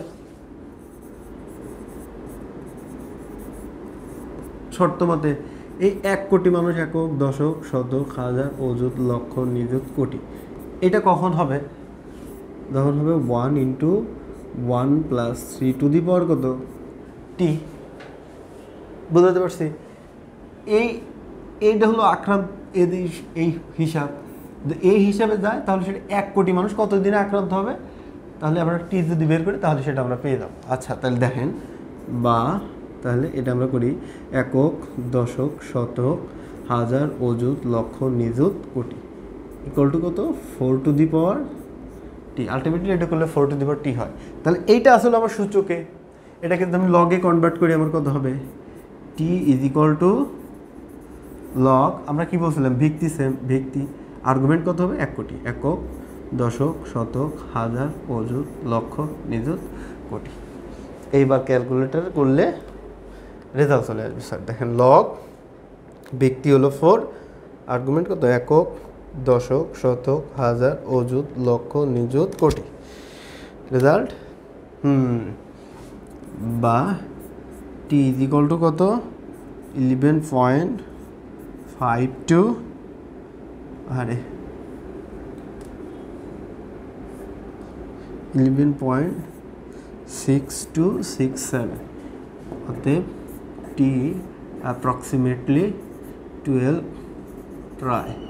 অর্থাৎ, আমরা কি বললাম স্যার? কত দিনে? এটা বলেছে কত দিনে? তাহলে টি ইজ ইকাল টু কত? বারো দিনে এক কোটি মানুষ আক্রান্ত হবে। যখন আমি অ্যাপ্রক্সিমেটলি চিহ্নটা ব্যবহার করব, তখন অবশ্যই এখানে কি ব্যবহার করব? প্রায়। তাহলে এই গণিতের দুইটা পার্ট ছিল। ফার্স্ট পার্টে ছিল যে করোনা ভাইরাসের প্রথম আক্রান্ত ব্যক্তি হয় একজন, আর সেই ব্যক্তি কি করে? প্রতিদিন একজন থেকে তিনজনকে আক্রান্ত করে। আর তাহলে সে এক মাসে কত আক্রান্ত করে? সে এক মাসে আক্রান্ত করে এত। আবার বলা হয়েছে কত দিনে এক কোটি মানুষ আক্রান্ত করবে? তাহলে ধরে নিলাম যে টি সময়ে এটা এক কোটি মানুষ আক্রান্ত হবে। তাহলে শর্ত মতে এক কোটি দিগল কত? সেটা বের করে দেখা দিলাম যে আলটিমেটলি বারো দিনে এ এক কোটি মানুষকে কি করবে? আক্রান্ত করবে। বুঝতে পারছি, স্যার? ক্লিয়ার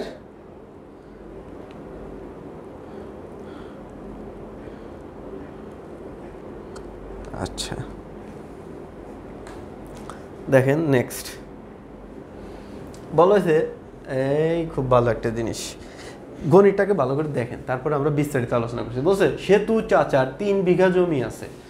সেতু চাচার জমির পরিমাণ তিন বিঘা। তিনি তার জমির উর্বরতা ঠিক রাখার জন্য প্রতি বছর, খুব লক্ষণীয়, প্রতি বছর বলতে আমরা কি বুঝাই থাকি? এক বছর। বলেছে প্রতি বছর তিরিশ কেজি জৈব সার প্রয়োগ করেন। তাহলে প্রত্যেক ইয়ারে যদি সে তিরিশ কেজি করে জৈব সার প্রয়োগ করে, ওই তিন বিঘা জমিতে তাহলে তার জমির উর্বরতাটা ঠিক থাকে। প্রতি কেজি সারে যদি, বলা হয়েছে প্রতি কেজি প্রতি কেজি প্রতি কেজি বলতে আমরা কি বলতে থাকি? এক কেজি। বলছে প্রতি কেজি সারে যদি প্রতি কাঠা প্রতি কাঠা বলতে আমরা কি বুঝি? এক কাঠা। এক কাঠা জমির উর্বরতা তিন পার্সেন্ট বৃদ্ধি করা হয়। তবে সেতু চাচার জমির অবচয় বের করো। অবচয় বলতে কি? আর। পিটি যেটাকে তাহলে ও যদি এইটা হয়, তাহলে আমার মাথার মধ্যে একটা সূত্র কাজ করবে। সেটা কি, স্যার? সেটা সেই সূত্রটা কি? P t is equal to p one minus r to the t তাহলে এই পিটি হলো অবচয়, আর এইটা হলো অবচয় হ্রাসের হার। কি কি হারে এটা কমতেছে? আর এই টি হলো সময়কাল। টি হলো কি? সময় কাল আর এটা হলো হ্রাসের হার। আর এই পি হলো প্রারম্ভিক অবস্থা, একটা জমির প্রারম্ভিক বা প্রাথমিক অবস্থা। জমিটা প্রাথমিক অবস্থায় কেমন ছিল? আর পিটি হলো কি পরিমাণ হ্রাস পেয়ে গেছে? সেটা। এটা নিয়ে আপনার বিস্তারিত আলোচনা আছে, আপনাদের বেসিক এই ভিডিওতে আপনারা সেটা দেখে নেবেন। দেখলে আপনারা আরও ভালো বুঝতে পারবেন, উপকৃত হবেন। আগে আমরা এই বিষয় নিয়ে কথা বলি। তাহলে এখানে বলা হয়েছে যে যে সেতু চাচা তিন বিঘা জমি আছে, কিন্তু এইখানে আমার মেনশন করে দিছে এক কাঠা জমির উর্বরতা। তাহলে এই তিন বিঘাকে আমার কাঠায় কনভার্ট করতে হবে। তাহলে আমরা কি জানি স্যার? আমরা জানি এক বিঘা সমান হলো বিশ কাঠা। তাহলে তিন বিঘা ইদিকল কত হবে? সিক্সটি কাঠা। তাহলে সেতু চাষার মোট জমি কত আছে আমার? সিক্সটি কাঠা। এটাকে আমরা যদি কনভার্ট করি, তাহলে হবে হলো সিক্সটি কাঠা। ক্লিয়ার আচ্ছা তাহলে আমরা গণিতে চলে যাই। গণিতটা কীভাবে শুরু করব? আগে আমরা এই ফার্স্ট পার্টটা করে নিব, তারপর সেকেন্ড পার্ট আসবে। এটারও দুইটা পার্ট তিনি যদি সার প্রয়োগ না করতেন, তাহলে কত বছর পরে তার জমিতে ফসল হতো না? এটা হলো আর একটা পার্ট আগে আমাকে এই পার্টটা করতে হবে। তাহলে দেওয়া আছে, সেতু চাষার যে জমি আছে, সেটাকে আমরা লিখব যে, ধরি জমির প্রাথমিক উর্বরতা কত? পি তাহলে এখানে লিখব আমি হলেও ধরি জমির প্রাথমিক উর্বরতা বা প্রাথমিক অবস্থা বা প্রারম্ভিক আচ্ছা প্রারম্ভিক লিখি? প্রারম্ভিক অপ্লিক প্রাথমিক। একটা দিলেই হয় স্যার, আপনারা যেটা দেন। প্রাথমিক উর্বরতা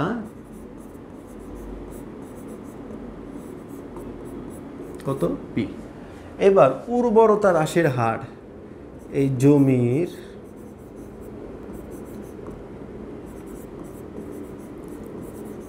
উর্বরতা কি আছে স্যার?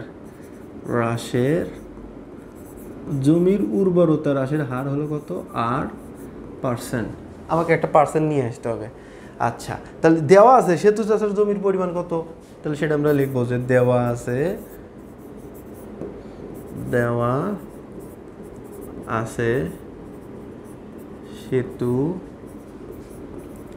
চাচার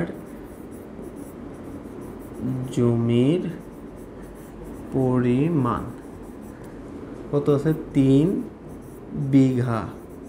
ইদিকল টু কত? থ্রি গুণন টোয়েন্টি মানে সিক্সটি কাঠা। সাইড নোট দিয়ে লিখে দেবেন। এক বিঘা ইদিকল টু কত?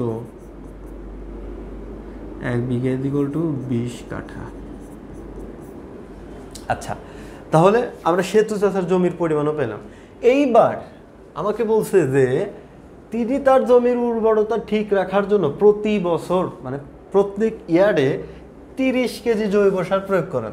তাহলে এই তিরিশ কেজি জৈব সার প্রয়োগ করেন কতটুকু জমিতে? ষাট কাঠা জমিতে। আমি কি বোঝাতে পারছি? এই তিরিশ কেজি সার তিনি প্রয়োগ করেন কোথায়? ষাট কাঠা জমিতে। তাহলে সেটা আমরা লিখব যে ষাট কাঠা জমিতে সার প্রয়োগ করেন কত? ষাট কাঠা জমিতে সার প্রয়োগ করেন। ষাট কাঠা জমিতে সার প্রয়োগ করেন কত কেজি? তিরিশ কেজি। তাহলে আমাকে পার কাঠা হিসাব করতে হবে। তাহলে আমি পার কাঠা হিসাব করি। অতএব এক কাঠা জমিতে সার প্রয়োগ করেন কত হবে? তিরিশ ভাগ ষাট। তিরিশ অক্ষে তিরিশ তিরিশ দুগুণে ষাট। ইদিকল টু কত? Half KG. তাহলে তিনি হাফ কেজি সার প্রয়োগ করেন হলো প্রতি কাঠা জমিতে। আরেকটা বিষয় হলো, এখানে আরেকটা বিষয় বলে দিছে, প্রতি কেজি সারে যদি প্রতি কাঠা জমির উর্বরতা তিন পার্সেন্ট বৃদ্ধি করে। প্রতি কেজি সারে প্রতি কাঠা জমির উর্বরতা বৃদ্ধি করে কত পার্সেন্ট তিন পার্সেন্ট তাহলে এটাকে আমরা কীভাবে লিখব? যে এক কেজি সারের জমির উর্বরতা বৃদ্ধি করে কত? তিন পার্সেন্ট তাহলে কথাটা আমরা আবার লিখে দেবো যে আবার, আমি কি বুঝাতে পারলাম স্যার? পার্ট বাই পার্ট আমাকে করতে হবে। আবার এক কাঠা, এক কেজি সারের জমির উর্বরতা, এক কেজি সারে জমির উর্বরতা বৃদ্ধি করে কত? তিন পার্সেন্ট। বোঝাতে পারছি? তাহলে এক কেজি সারে জমির উর্বরতা বৃদ্ধি করে তিন পার্সেন্ট। কিন্তু আমি কত কেজি কাঠাপতি কত কেজি সার প্রয়োগ করছি? এতে কাঠাপতি কত কেজি সার প্রয়োগ করছি? কাঠাপতি কত কেজি সার প্রয়োগ করলাম আমি? কাঠাপতি সার প্রয়োগ করলাম হলো কত? Half KG. তাহলে এবার আবার প্রতি কাঠা এদের প্রতি কাঠা, তাহলে প্রতি কাঠাতে আমি সার প্রয়োগ করছি কত? Half KG. প্রতি কাঠাতে হাফ কেজি সার প্রয়োগ করছি। তাহলে এই এবার আমার হাফ কেজি বের করতে হবে। যে অতএব হাফ কেজি সারে জমির উর্বরতা বৃদ্ধি করে কত? Three half. এটা যদি আমরা করি কত আসবে না? ওয়ান পয়েন্ট ফাইভ পার্সেন্ট অর্থাৎ হাফ কেজি সারে জমির উর্বরতা বৃদ্ধি হয় কত?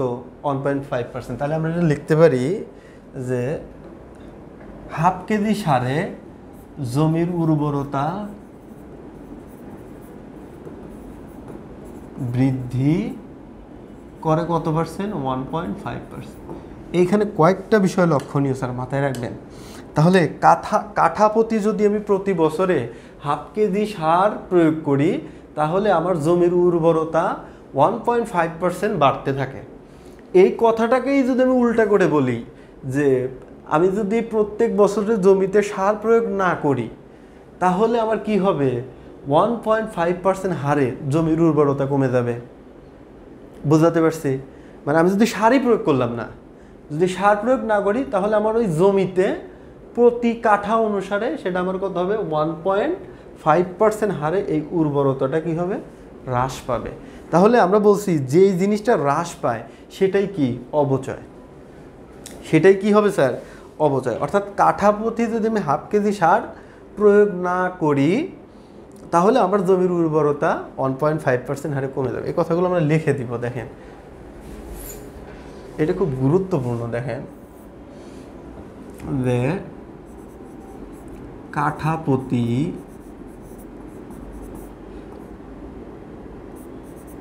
হাফ কেজি সার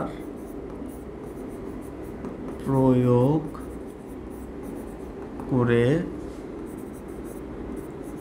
জমির উর্বরতা ওয়ান পয়েন্ট ফাইভ পারসেন্ট হারে বৃদ্ধি করে ওয়ান পয়েন্ট ফাইভ পার্সেন্ট হারে বৃদ্ধি করে জমির উর্বরতা ঠিক রাখা হয়।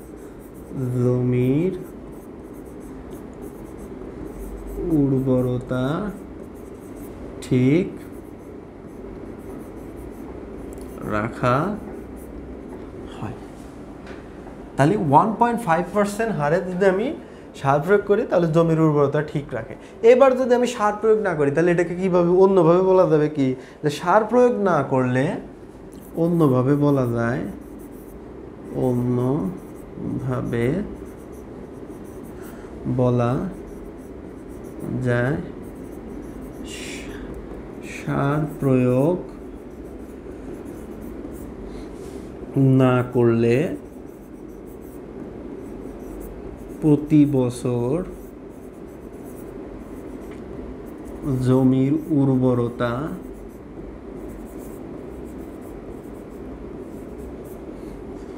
ওয়ান পয়েন্ট ফাইভ পার্সেন্ট হারে কমতে থাকবে। তাহলে আমরা কি বলছি? অবচয় সূত্র কি? বছর শেষে যেটা কমে যাবে সেটি তো অবচয়। তাহলে কমে যাবে। আর এটাই হলো জমির অবচয়ের হার। আর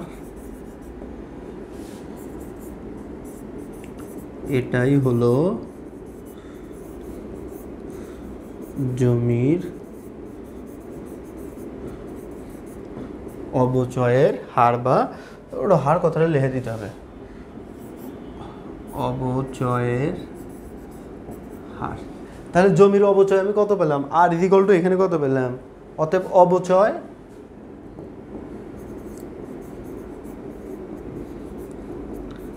আর ইজিকল টু কত পেলাম ওয়ান পয়েন্ট ফাইভ পার্সেন্ট এটাকে যদি আমি কনভার্ট করি, তাহলে শূন্য দশমিক শূন্য এক পাঁচ।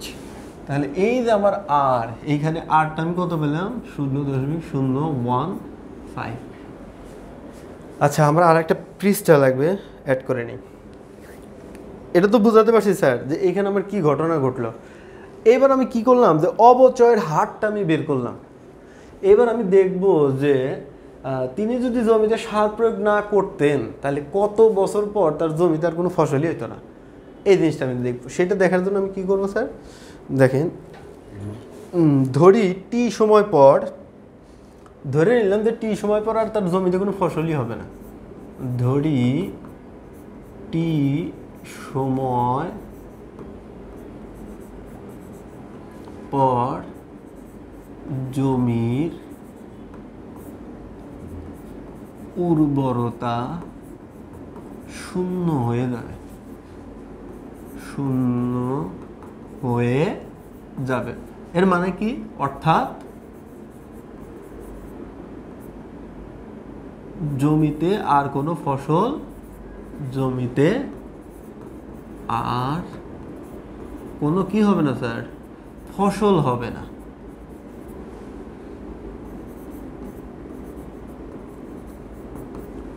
যদি ধরে নিলাম টি সময় পর জমির উর্বরতা শূন্য হয়ে যাবে। যদি শূন্য হয়ে যায়, তাহলে তো ওই জমিতে আর কোনো ফসল হবে না, স্যার।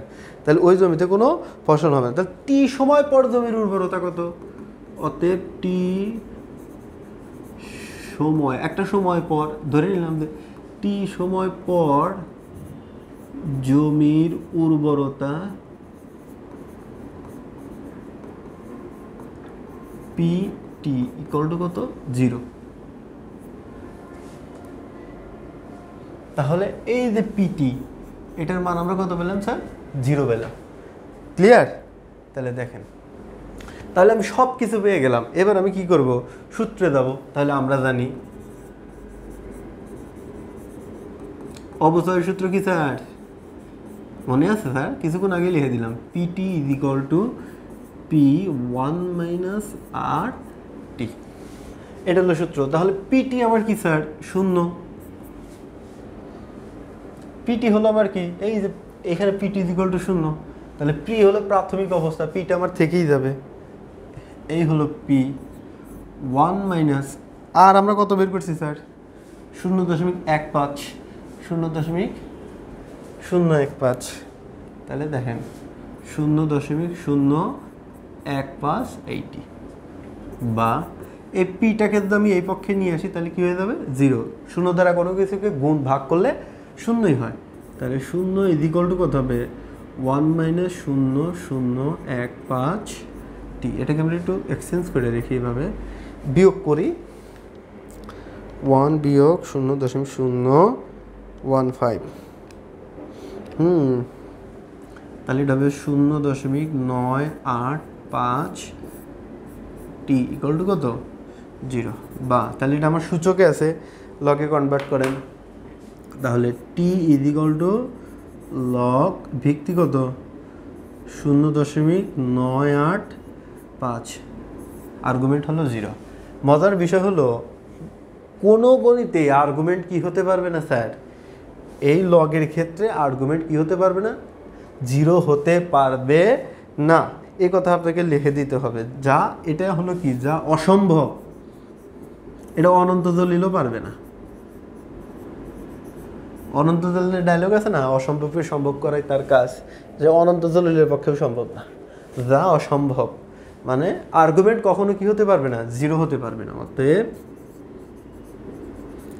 আর্গুমেন্ট কখনোই খুব জোর দিয়ে বলবেন। কখ, কখনোই কি? শূন্য। হতে এটা অসম্ভব।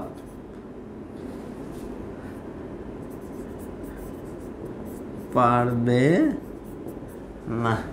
অর্থাৎ সেতু চাষার জমির উর্বরতা কমতে থাকবে, ঠিক আছে। কিন্তু সেটা কখনোই কি হবে না? একবারে শূন্য হবে না। তাহলে ওই কথাটা লিখে দেবেন যে জমির উর্বরতা শূন্য হওয়া সম্ভব নয়।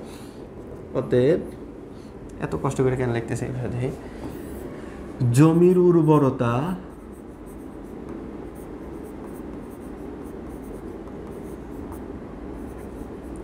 শূন্য হওয়া সম্ভব নয়। ক্লিয়ার অর্থাৎ সেতু চাষার জমির উর্বরতা হ্রাস পাবে, কিন্তু সেটা কখনোই শূন্য হয়ে যাবে না। তাহলে এটা লিখে দাও যে সেতু চাচার জমির উর্বরতা হ্রাস পাবে বা কমতে থাকবে, হ্রাস পাবে, কিন্তু সেটা একেবারেই কি হবে না? শূন্য হবে না, যে যেভাবে লেখে, এটাই আনসার বুঝতে পারছি? অর্থাৎ সেতু চাষা যাই যদি সার প্রয়োগ নাও করে, তার জমির উর্বরতাটা কমতে থাকবে, ঠিক আছে? কিন্তু সেটা একবার কি হয়ে যাবে না? জিরো হয়ে যাবে না।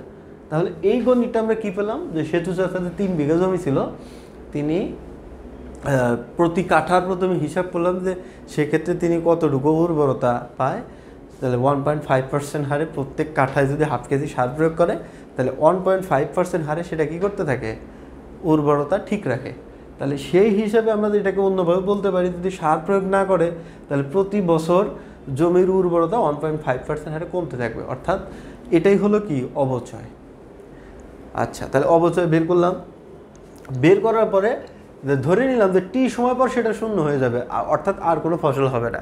তাহলে টি সময় পর জমির উর্বরতা, আমার গুরুত্বপূর্ণ জিনিস হলো এই পিটি বের করা লাগবে টি সময় পরে তাহলে জমির উর্বরতা পিটি ইজিকল কত? জিরো ক্লিয়ার এবারে এই যে সূত্রটা ফেলে দিলে আলটিমেটলি রেজাল্ট চলে আসলো। বুঝতে পারছি স্যার?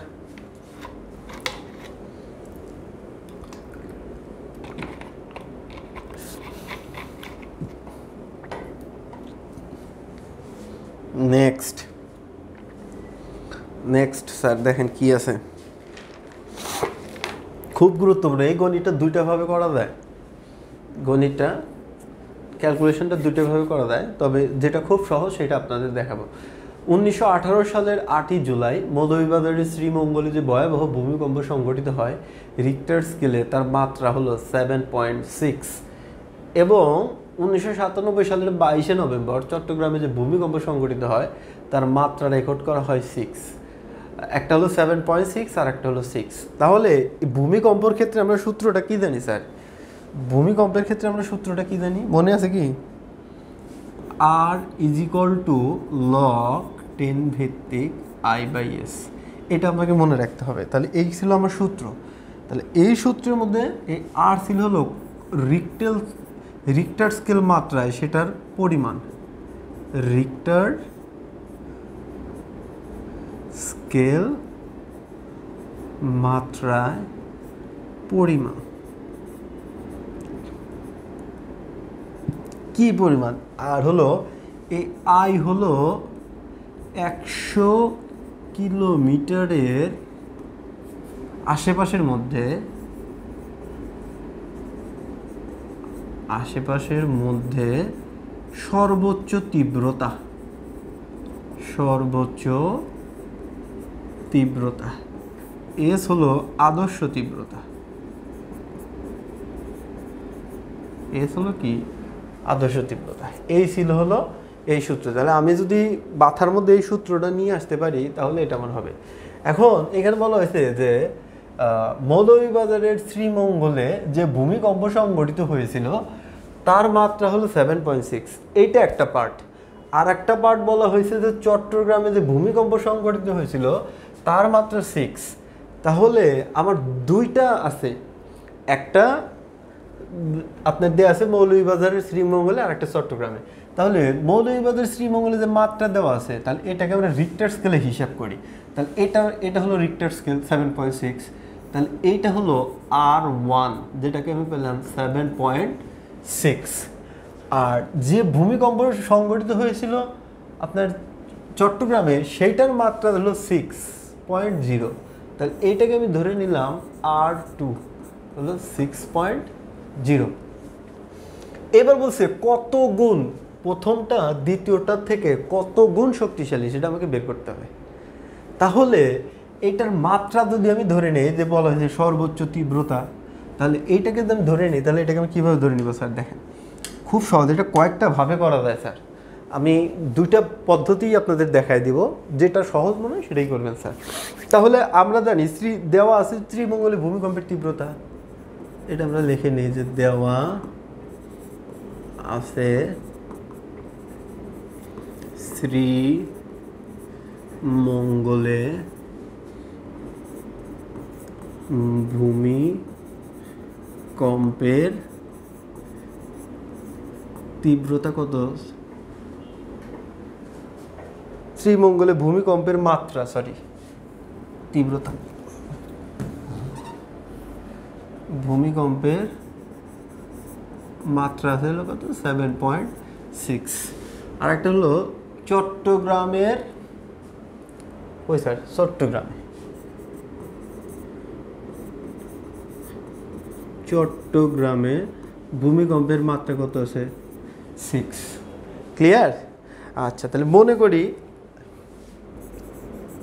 বা ধরি যেটাই বলো, মনে করি শ্রীমঙ্গলে ভূমিকম্পের মাত্রা, ভূমি, যেহেতু দুইটা আছে, এর জন্য আমরা দুইটা নিব। ভূমিকম্পের মাত্রা, এটাকে ধরে নিলাম আয়ন। আর হলো চট্টগ্রামে ভূমিকম্পের মাত্রা, এটাকে ধরে নিলে হলো আই টু বুঝতে পারছি? তাহলে শ্রীমঙ্গলে ভূমিকম্পের মাত্রা, চট্টগ্রামে ভূমিকম্পের মাত্রা আমরা ধরে নিলাম। আচ্ছা এইবার হলো আমার আদর্শ তীব্রতা এটা কিন্তু আমরা জানি যে এই সূত্রটা আপনার মনে রাখলে মোটামুটি সবই করা যাবে। তাহলে আমরা জানি ভূমিকম্পের মাত্রা কি? যে ওটা হলো সূত্র। তাহলে আমরা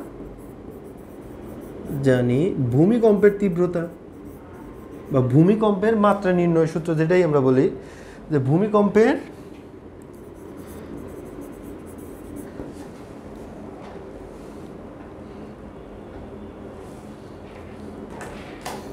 ভূমিকম্পের মাত্রা r equal to log ten ভিত্তিক ওয়ান বাই এস আচ্ছা।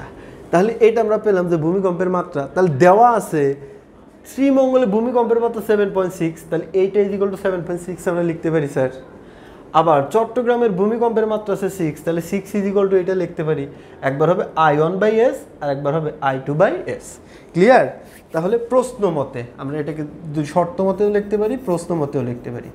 প্রশ্ন মতে। তাহলে আমরা প্রশ্ন মতে কী লিখব স্যার লগ টেন ভিত্তিক I one by s equal to কত? সেভেন পয়েন্ট সিক্স ক্লিয়ার এইটা হলো আমার একটা সমীকরণ।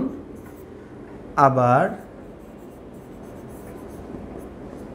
লগ টেন ভিত্তিক আই টু বাই এস এটা ইজিকল টু কত হবে? সিক্স এটা হলো আরেকটা সমীকরণ। এবার দেখেন, এক নম্বর সমীকরণ থেকে দুই নম্বর সমীকরণ যদি আমরা বিয়োগ করি, তাহলে কি দাঁড়ায়? এক থেকে দুই বিয়োগ করে পাই হ্যাঁ? বিয়োগ করে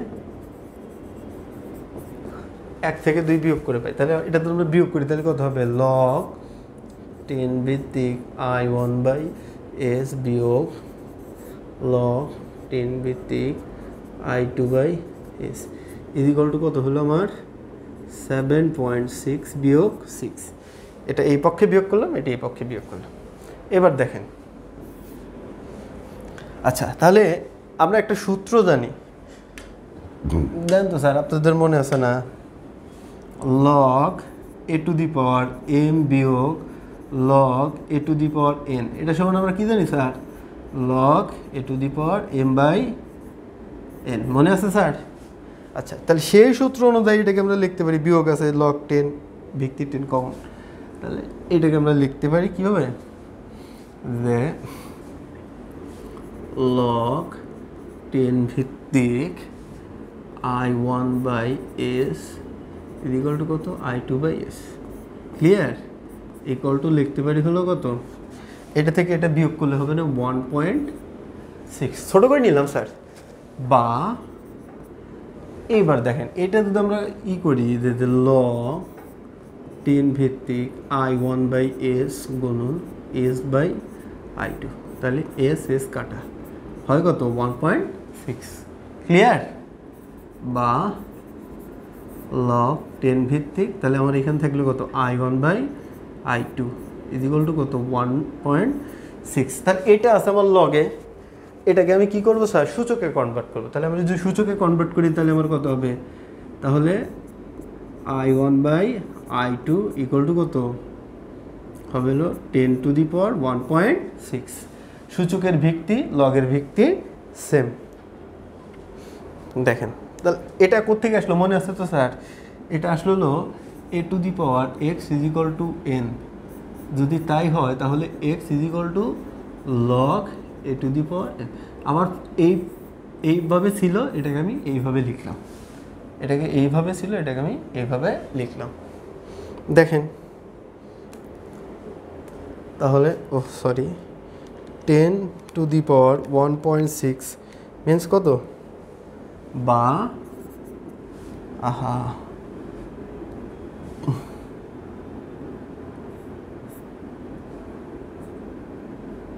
বা I one by I two is equal to কত?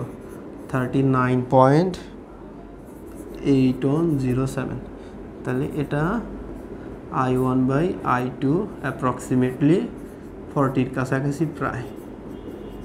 তাহলে আয়ন অতএব আয়ন অ্যাপ্রক্সিমেটলি ফর্টি আই টু অর্থাৎ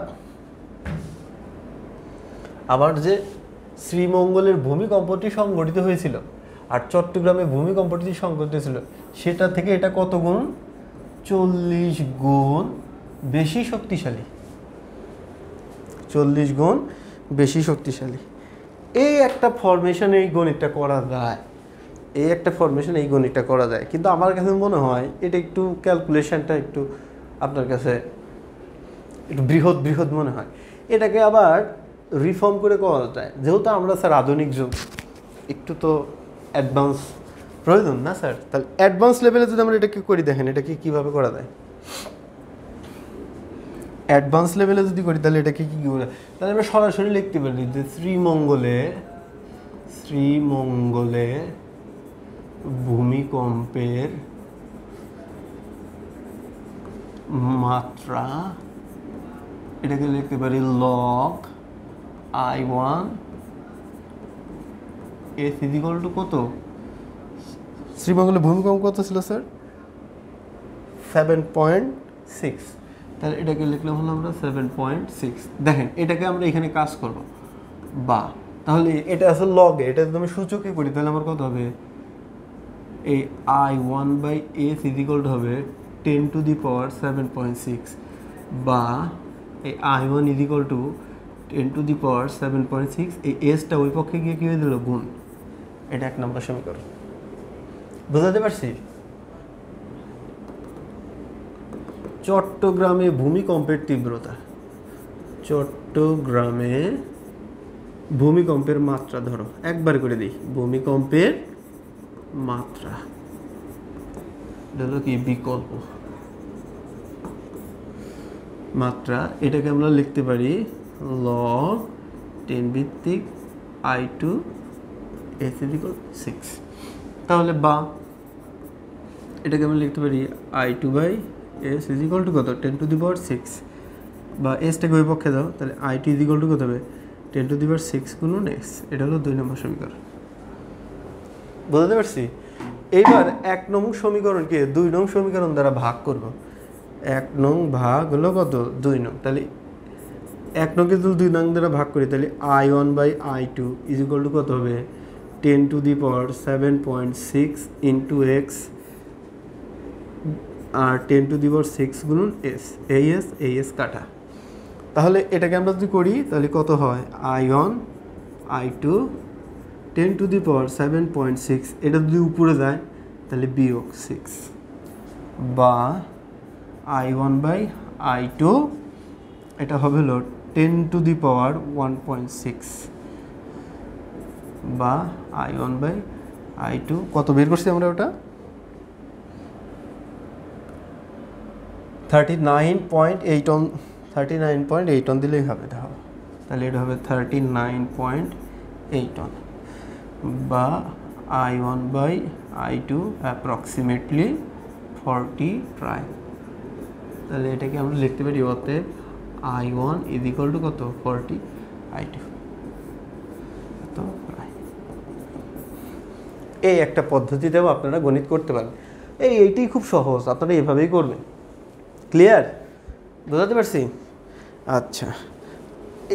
যদি আপনারা এইভাবে করেন তাহলে আপনাদের জন্য ভালো। আর যদি অন্যভাবে করেন তাহলে আপনাদের জন্য কি? যেটা ভালো লাগে স্যার, আপনাদের যেটা দেখালাম এইভাবেও করলেও কি হবে? এভাবে করলেও হবে। এবার দেখেন, আমরা কত গুণ সেটা বের করলাম। এরপরের যে গণিতটা করব, সেখানে আবার একটু চেঞ্জ আছে স্যার চেঞ্জ কি? লক্ষ্য করেন, কোনো এক সময় জাপানে একটি ভূমিকম্প সংঘটিত হয়েছিল রিক্টার স্কেলে তার মাত্রা আট রেকর্ড করা হয়। রিক্টার স্কেলে তার মাত্রা কত? তাহলে এটা পেলাম, এটা হলো আর ওয়ান ইজিকল টু কত? এইট একই বছরে সেখানে আরও একটি ভূমিকম্প সংঘটিত হয়। যা পূর্বের চেয়ে সিক্স গুণ বেশি শক্তিশালী। আমরা এর আগে যে গণিতটা করলাম, সেখানে দেখেন দুইটা দেওয়া ছিল। একটা আর ওয়ান দেওয়া ছিল আর টু দেওয়া ছিল। এইবার শুধু আমার কি দেওয়া আছে? আর ওয়ান দেওয়া আছে, কিন্তু কত গুণ শক্তিশালী সেটা দেওয়া ছিল।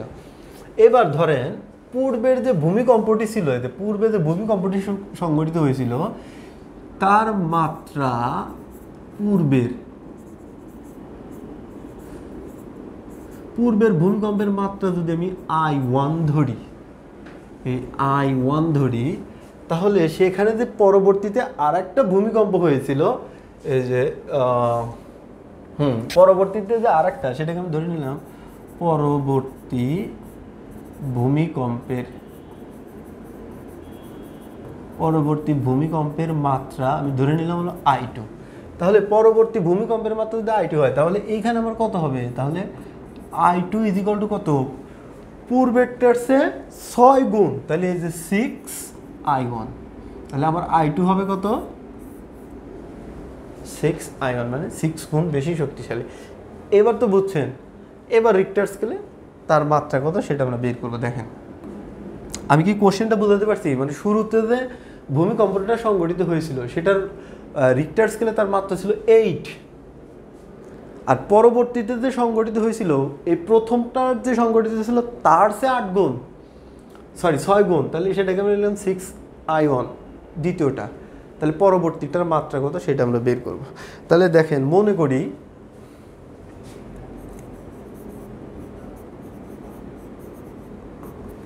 মনে করি জাপানে প্রথম, জাপানে সংগঠিত প্রথম ভূমিকম্পের মাত্রা।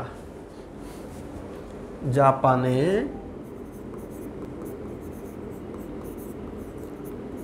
সংঘটিত প্রথম ভূমিকম্পের তীব্রতা, এটাকে আমরা ধরে নিলাম আই ওয়ান। তাহলে জাপানে সংঘটিত দ্বিতীয় ভূমিকম্পের তীব্রতা I two is equal to কত হবে? সিক্স আইন সিক্স আইন ক্লিয়ার মানে আমার গণিতের কাজ শেষ। তাহলে আদর্শ তীব্রতা কত? আদর্শ তীব্রতাটা আমরা কত বলছি? আদর্শ তীব্রতা ইকুয়াল টু এস বুঝাতে পারছি স্যার? এইবার স্যার আমরা গণিতে যাব। যে আমরা জানি তাহলে রিক্টার স্কেলে তার মাত্রা কত? ওটা আমরা লিখে নিলে বেশি ভালো হয়। আবার না লিখলেও অসুবিধা নেই তবে আমরা লিখেই নিব যে দেওয়া আছে প্রথম ভূমিকম্পের তীব্রতা।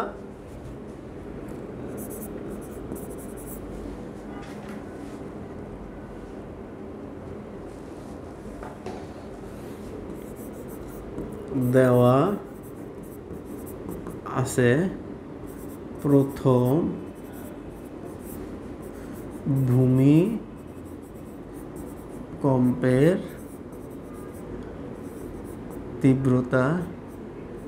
রিক্টার স্কেল মাত্রা সেটাকে ধরে নিলাম হলো আর সরি প্রথম ভূমিকম্পের মাত্রা।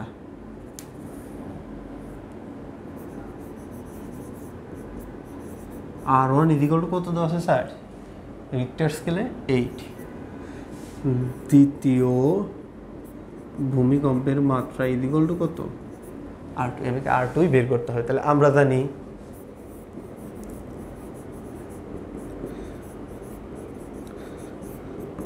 আমরা জানি, তাহলে আর ওয়ান ইজিকল টু কত হবে? লগ টেন ভিত্তিক I one by S clear তাহলে আর ওয়ানের মান কত দেওয়া আছে স্যার এইট এই দিলাম এইট লগ টেন ভিত্তিক আই ওয়ান বাই এস তাহলে এটা আমরা কি করব স্যার সূচকে নিয়ে আসব। তাহলে I one by S equal to কত হবে? Ten to the power eight এটা হলো এক নম্বর সমীকরণ। ক্লিয়ার তাহলে দেখেন স্যার, পরবর্তীটা। আবার এটা তো বের করলাম, sir I one sir R one এবার হলো আর টুর ক্ষেত্রে। তাহলে R two is equal to কত হবে? ল টেন ভিত্তিক আই টু বাই এস তাহলে ল টেন ভিত্তিক। স্যার আই টু সমান কত পাইছি আমরা? Six I one by S দেখেন স্যার এই যে আই ওয়ান বাই এস এই যে আই ওয়ান বাই এস এটা সমান আমরা কত পাচ্ছি? Ten to the power eight তাহলে এটা আমরা লিখব স্যার এখানে। তাহলে এইখানে লিখব হলো লগ টেন সিক্স গুণন ten to the power eight এই আই ওয়ান বাই ই সমান কত আছে? Ten to the power eight তাহলে এটা আমরা লিখব, আহারে, অতএব এক নং সমীকরণ হতে।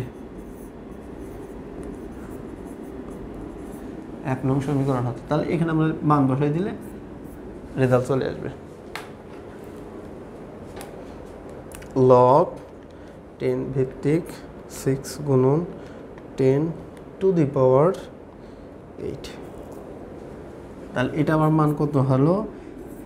Eight point seven seven eight one five তাহলে এটা অ্যাপ্রক্সিমেটলি এইট পয়েন্ট এইট প্রায় তাহলে রিক্টার স্কেলে এর মাত্রা কত ছিল? এইট পয়েন্ট এইট তাহলে এটাকে আমরা বলতে পারি যে দ্বিতীয় যে ভূমিকম্পটা হয়েছিল, তার তীব্রতা, এই যে তার সিক্স গুণ বেশি ছিল। তাহলে রিক্টার স্কেল মাত্রায় আর ওয়ান ছিল সেটা কত? আর ওয়ান ছিল এইট এটা হলো পূর্বের। আর হলো পরবর্তী যে ভূমিকম্প, সেটা আর টু টু কত ছিল? এইট পয়েন্ট এইট যা পূর্বের তুলনায় ছয় গুণ বেশি শক্তিশালী ছিল। বোঝাতে পারছি, স্যার? এই ছিল হলো ঘটনা তাহলে এখানে আমরা লিখে দিব, অতএব পরবর্তী ভূমিকম্পটি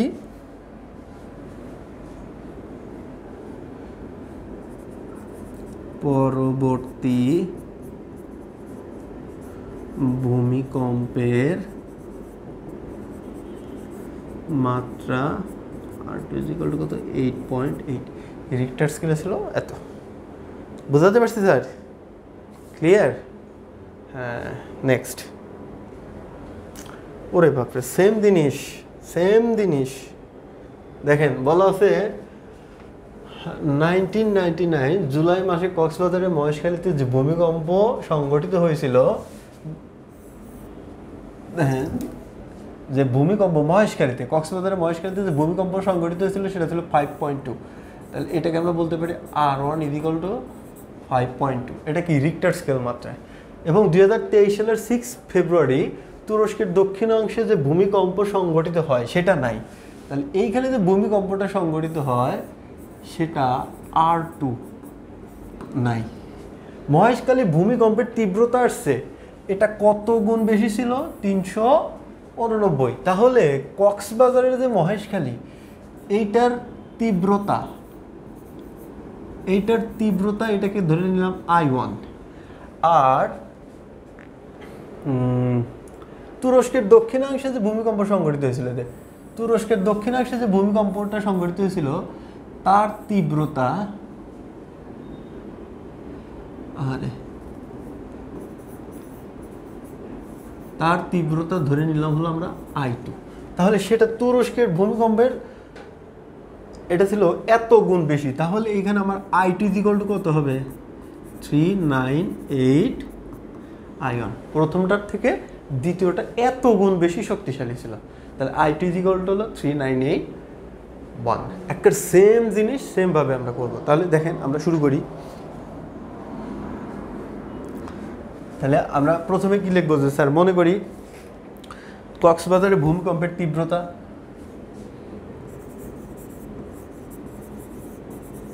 মনে করি কক্সবাজারে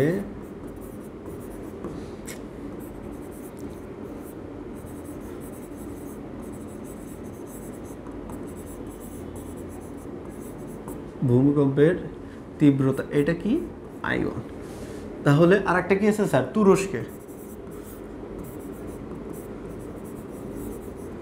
তুরস্কের ভূমিকম্পের তীব্রতা আই টু ইজিকল টু কত হবে? থ্রি নাইন এইট আয়ন আমি কি বুঝাতে পারলাম স্যার? অর্থাৎ কক্সবাজারে যে ভূমিকম্পের তীব্রতা হয়েছিল সেটাকে আমরা ধরে নিলাম আয়ন আর তুরস্কে যে ভূমিকম্পটা হয়েছিল সেটা হলো আই টু তাহলে আই টু ইজিকল টু কত হবে? থ্রি নাইন এইট আয়ন তাহলে আমরা এটা পেয়ে গেলাম। একটা সিমিলার জিনিস এইখানে যা আছে সিমিলার তাহলে এটাকে আমরা লিখব হলো আদর্শ তীব্রতা। আদর্শ তীব্রতা। এটা হলো এস তাহলে দেওয়া আছে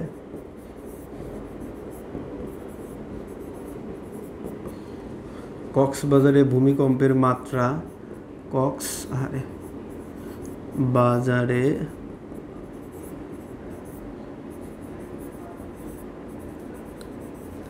ভূমিকম্পের মাত্রা। এটা আমরা কত পেলাম, sir? R one is equal to five point two আর হলো তুরস্কে ভূমিকম্পের মাত্রা ইকুয়াল টু কত? আর তাহলে আমরা জানি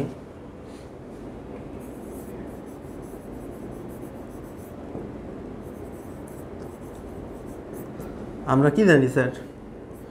R one is equal to log ten ভিত্তিক আই ওয়ান বাই এস তাহলে এটাকে আমরা এটার মান কত? Five point two log ten ভিত্তিক আই ওয়ান বাই এস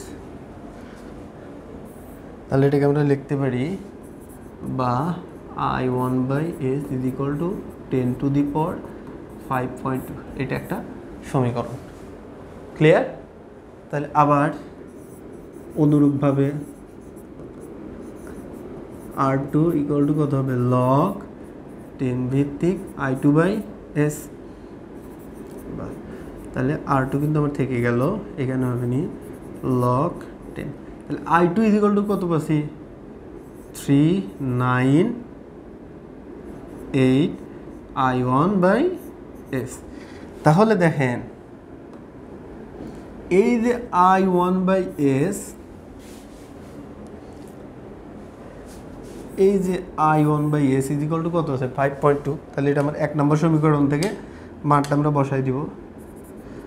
বা R two is equal to কত হবে স্যার? লগ টেন ভিত্তিক থ্রি নাইন এইট গুণন ten to the power five point এক নং সমীকরণ আচ্ছা তাহলে দেখেন। বা তাহলে আর টু ইজিকল টু আমার কত হবে? রিক্টার স্কেল মাত্রা? করে দিলে হয়ে গেল এই মানটা আমরা পেয়ে যাব log ten take three nine eight গুণন ten to the power five point two seven point seven nine seven point seven nine nine eight অতএব এটা অ্যাপ্রক্সিমেটলি সেভেন পয়েন্ট এইট প্রায়। তাহলে আপনার তুরস্কে যে ভূমিকম্পটা সংঘটিত হয়েছিল, সেটার মাত্রা কত ছিল, স্যার? সেটার মাত্রা ছিল সেভেন পয়েন্ট এইট তো ফোন দিচ্ছে আচ্ছা যাই হোক, তাহলে এই ছিল হলো আপনার গণিত। বুঝতে পারছি? তাহলে কত গুণ যদি চায়, তাহলে এই যে তীব্রতা আছে সেটা কত গুণ, এটা আমাকে বের করে নিতে হবে। এইটাই মূলত হলো খেলা। এটা যদি আমি বের করে নিতে পারি, তাহলে আমার গণিতটা দেনা দেন হয়ে যাবে। অতএব লিখে দেবেন, অতএব তুরস্কের যে ভূমিকম্পটা আচ্ছা লিখে দেই। তুরস্কে ভূমিকম্পের মাত্রা, অতএব তুরস্কের ভূমিকম্পের মাত্রা ছিল এইট পয়েন্ট এইট প্রায়। ক্লিয়ার তাহলে তুরস্কে যে ভূমিকম্পটি হয়েছিল, তার মাত্রা কত ছিল? তার মাত্রা ছিল হলো seven point eight seven point sorry seven point eight seven point eight clear sir বোঝাতে পারছি? নেক্সট ধন্যবাদ সবাইকে, দেখা হবে পরবর্তী ক্লাসে স্যার, অনেক ধন্যবাদ। এই যে আপনাদের ক্লাসগুলো করানো হলো, এগুলো আপনাদের জন্য অনেক ইসেনশিয়াল প্রয়োজনীয়। আপনাদের নতুন কারিকুলামের এভাবে কেউ করাবে না ইনশাল্লাহ তারপরে আমি চেষ্টা করেছি আপনাদের যত সহজভাবে আপনাদের সামনে উপস্থাপন করা যায়। স্যার, আজকের মতো ক্লাসটা এখানেই শেষ করছি। পরবর্তী কোনো ক্লাসে আপনাদের সাথে আবার দেখা হবে। ঠিক সেই সময় পর্যন্ত আপনারা ভালো থাকেন, সুস্থ থাকেন। আজকের মতো বিদায় নিয়েছি আসসালামু আলাইকুম।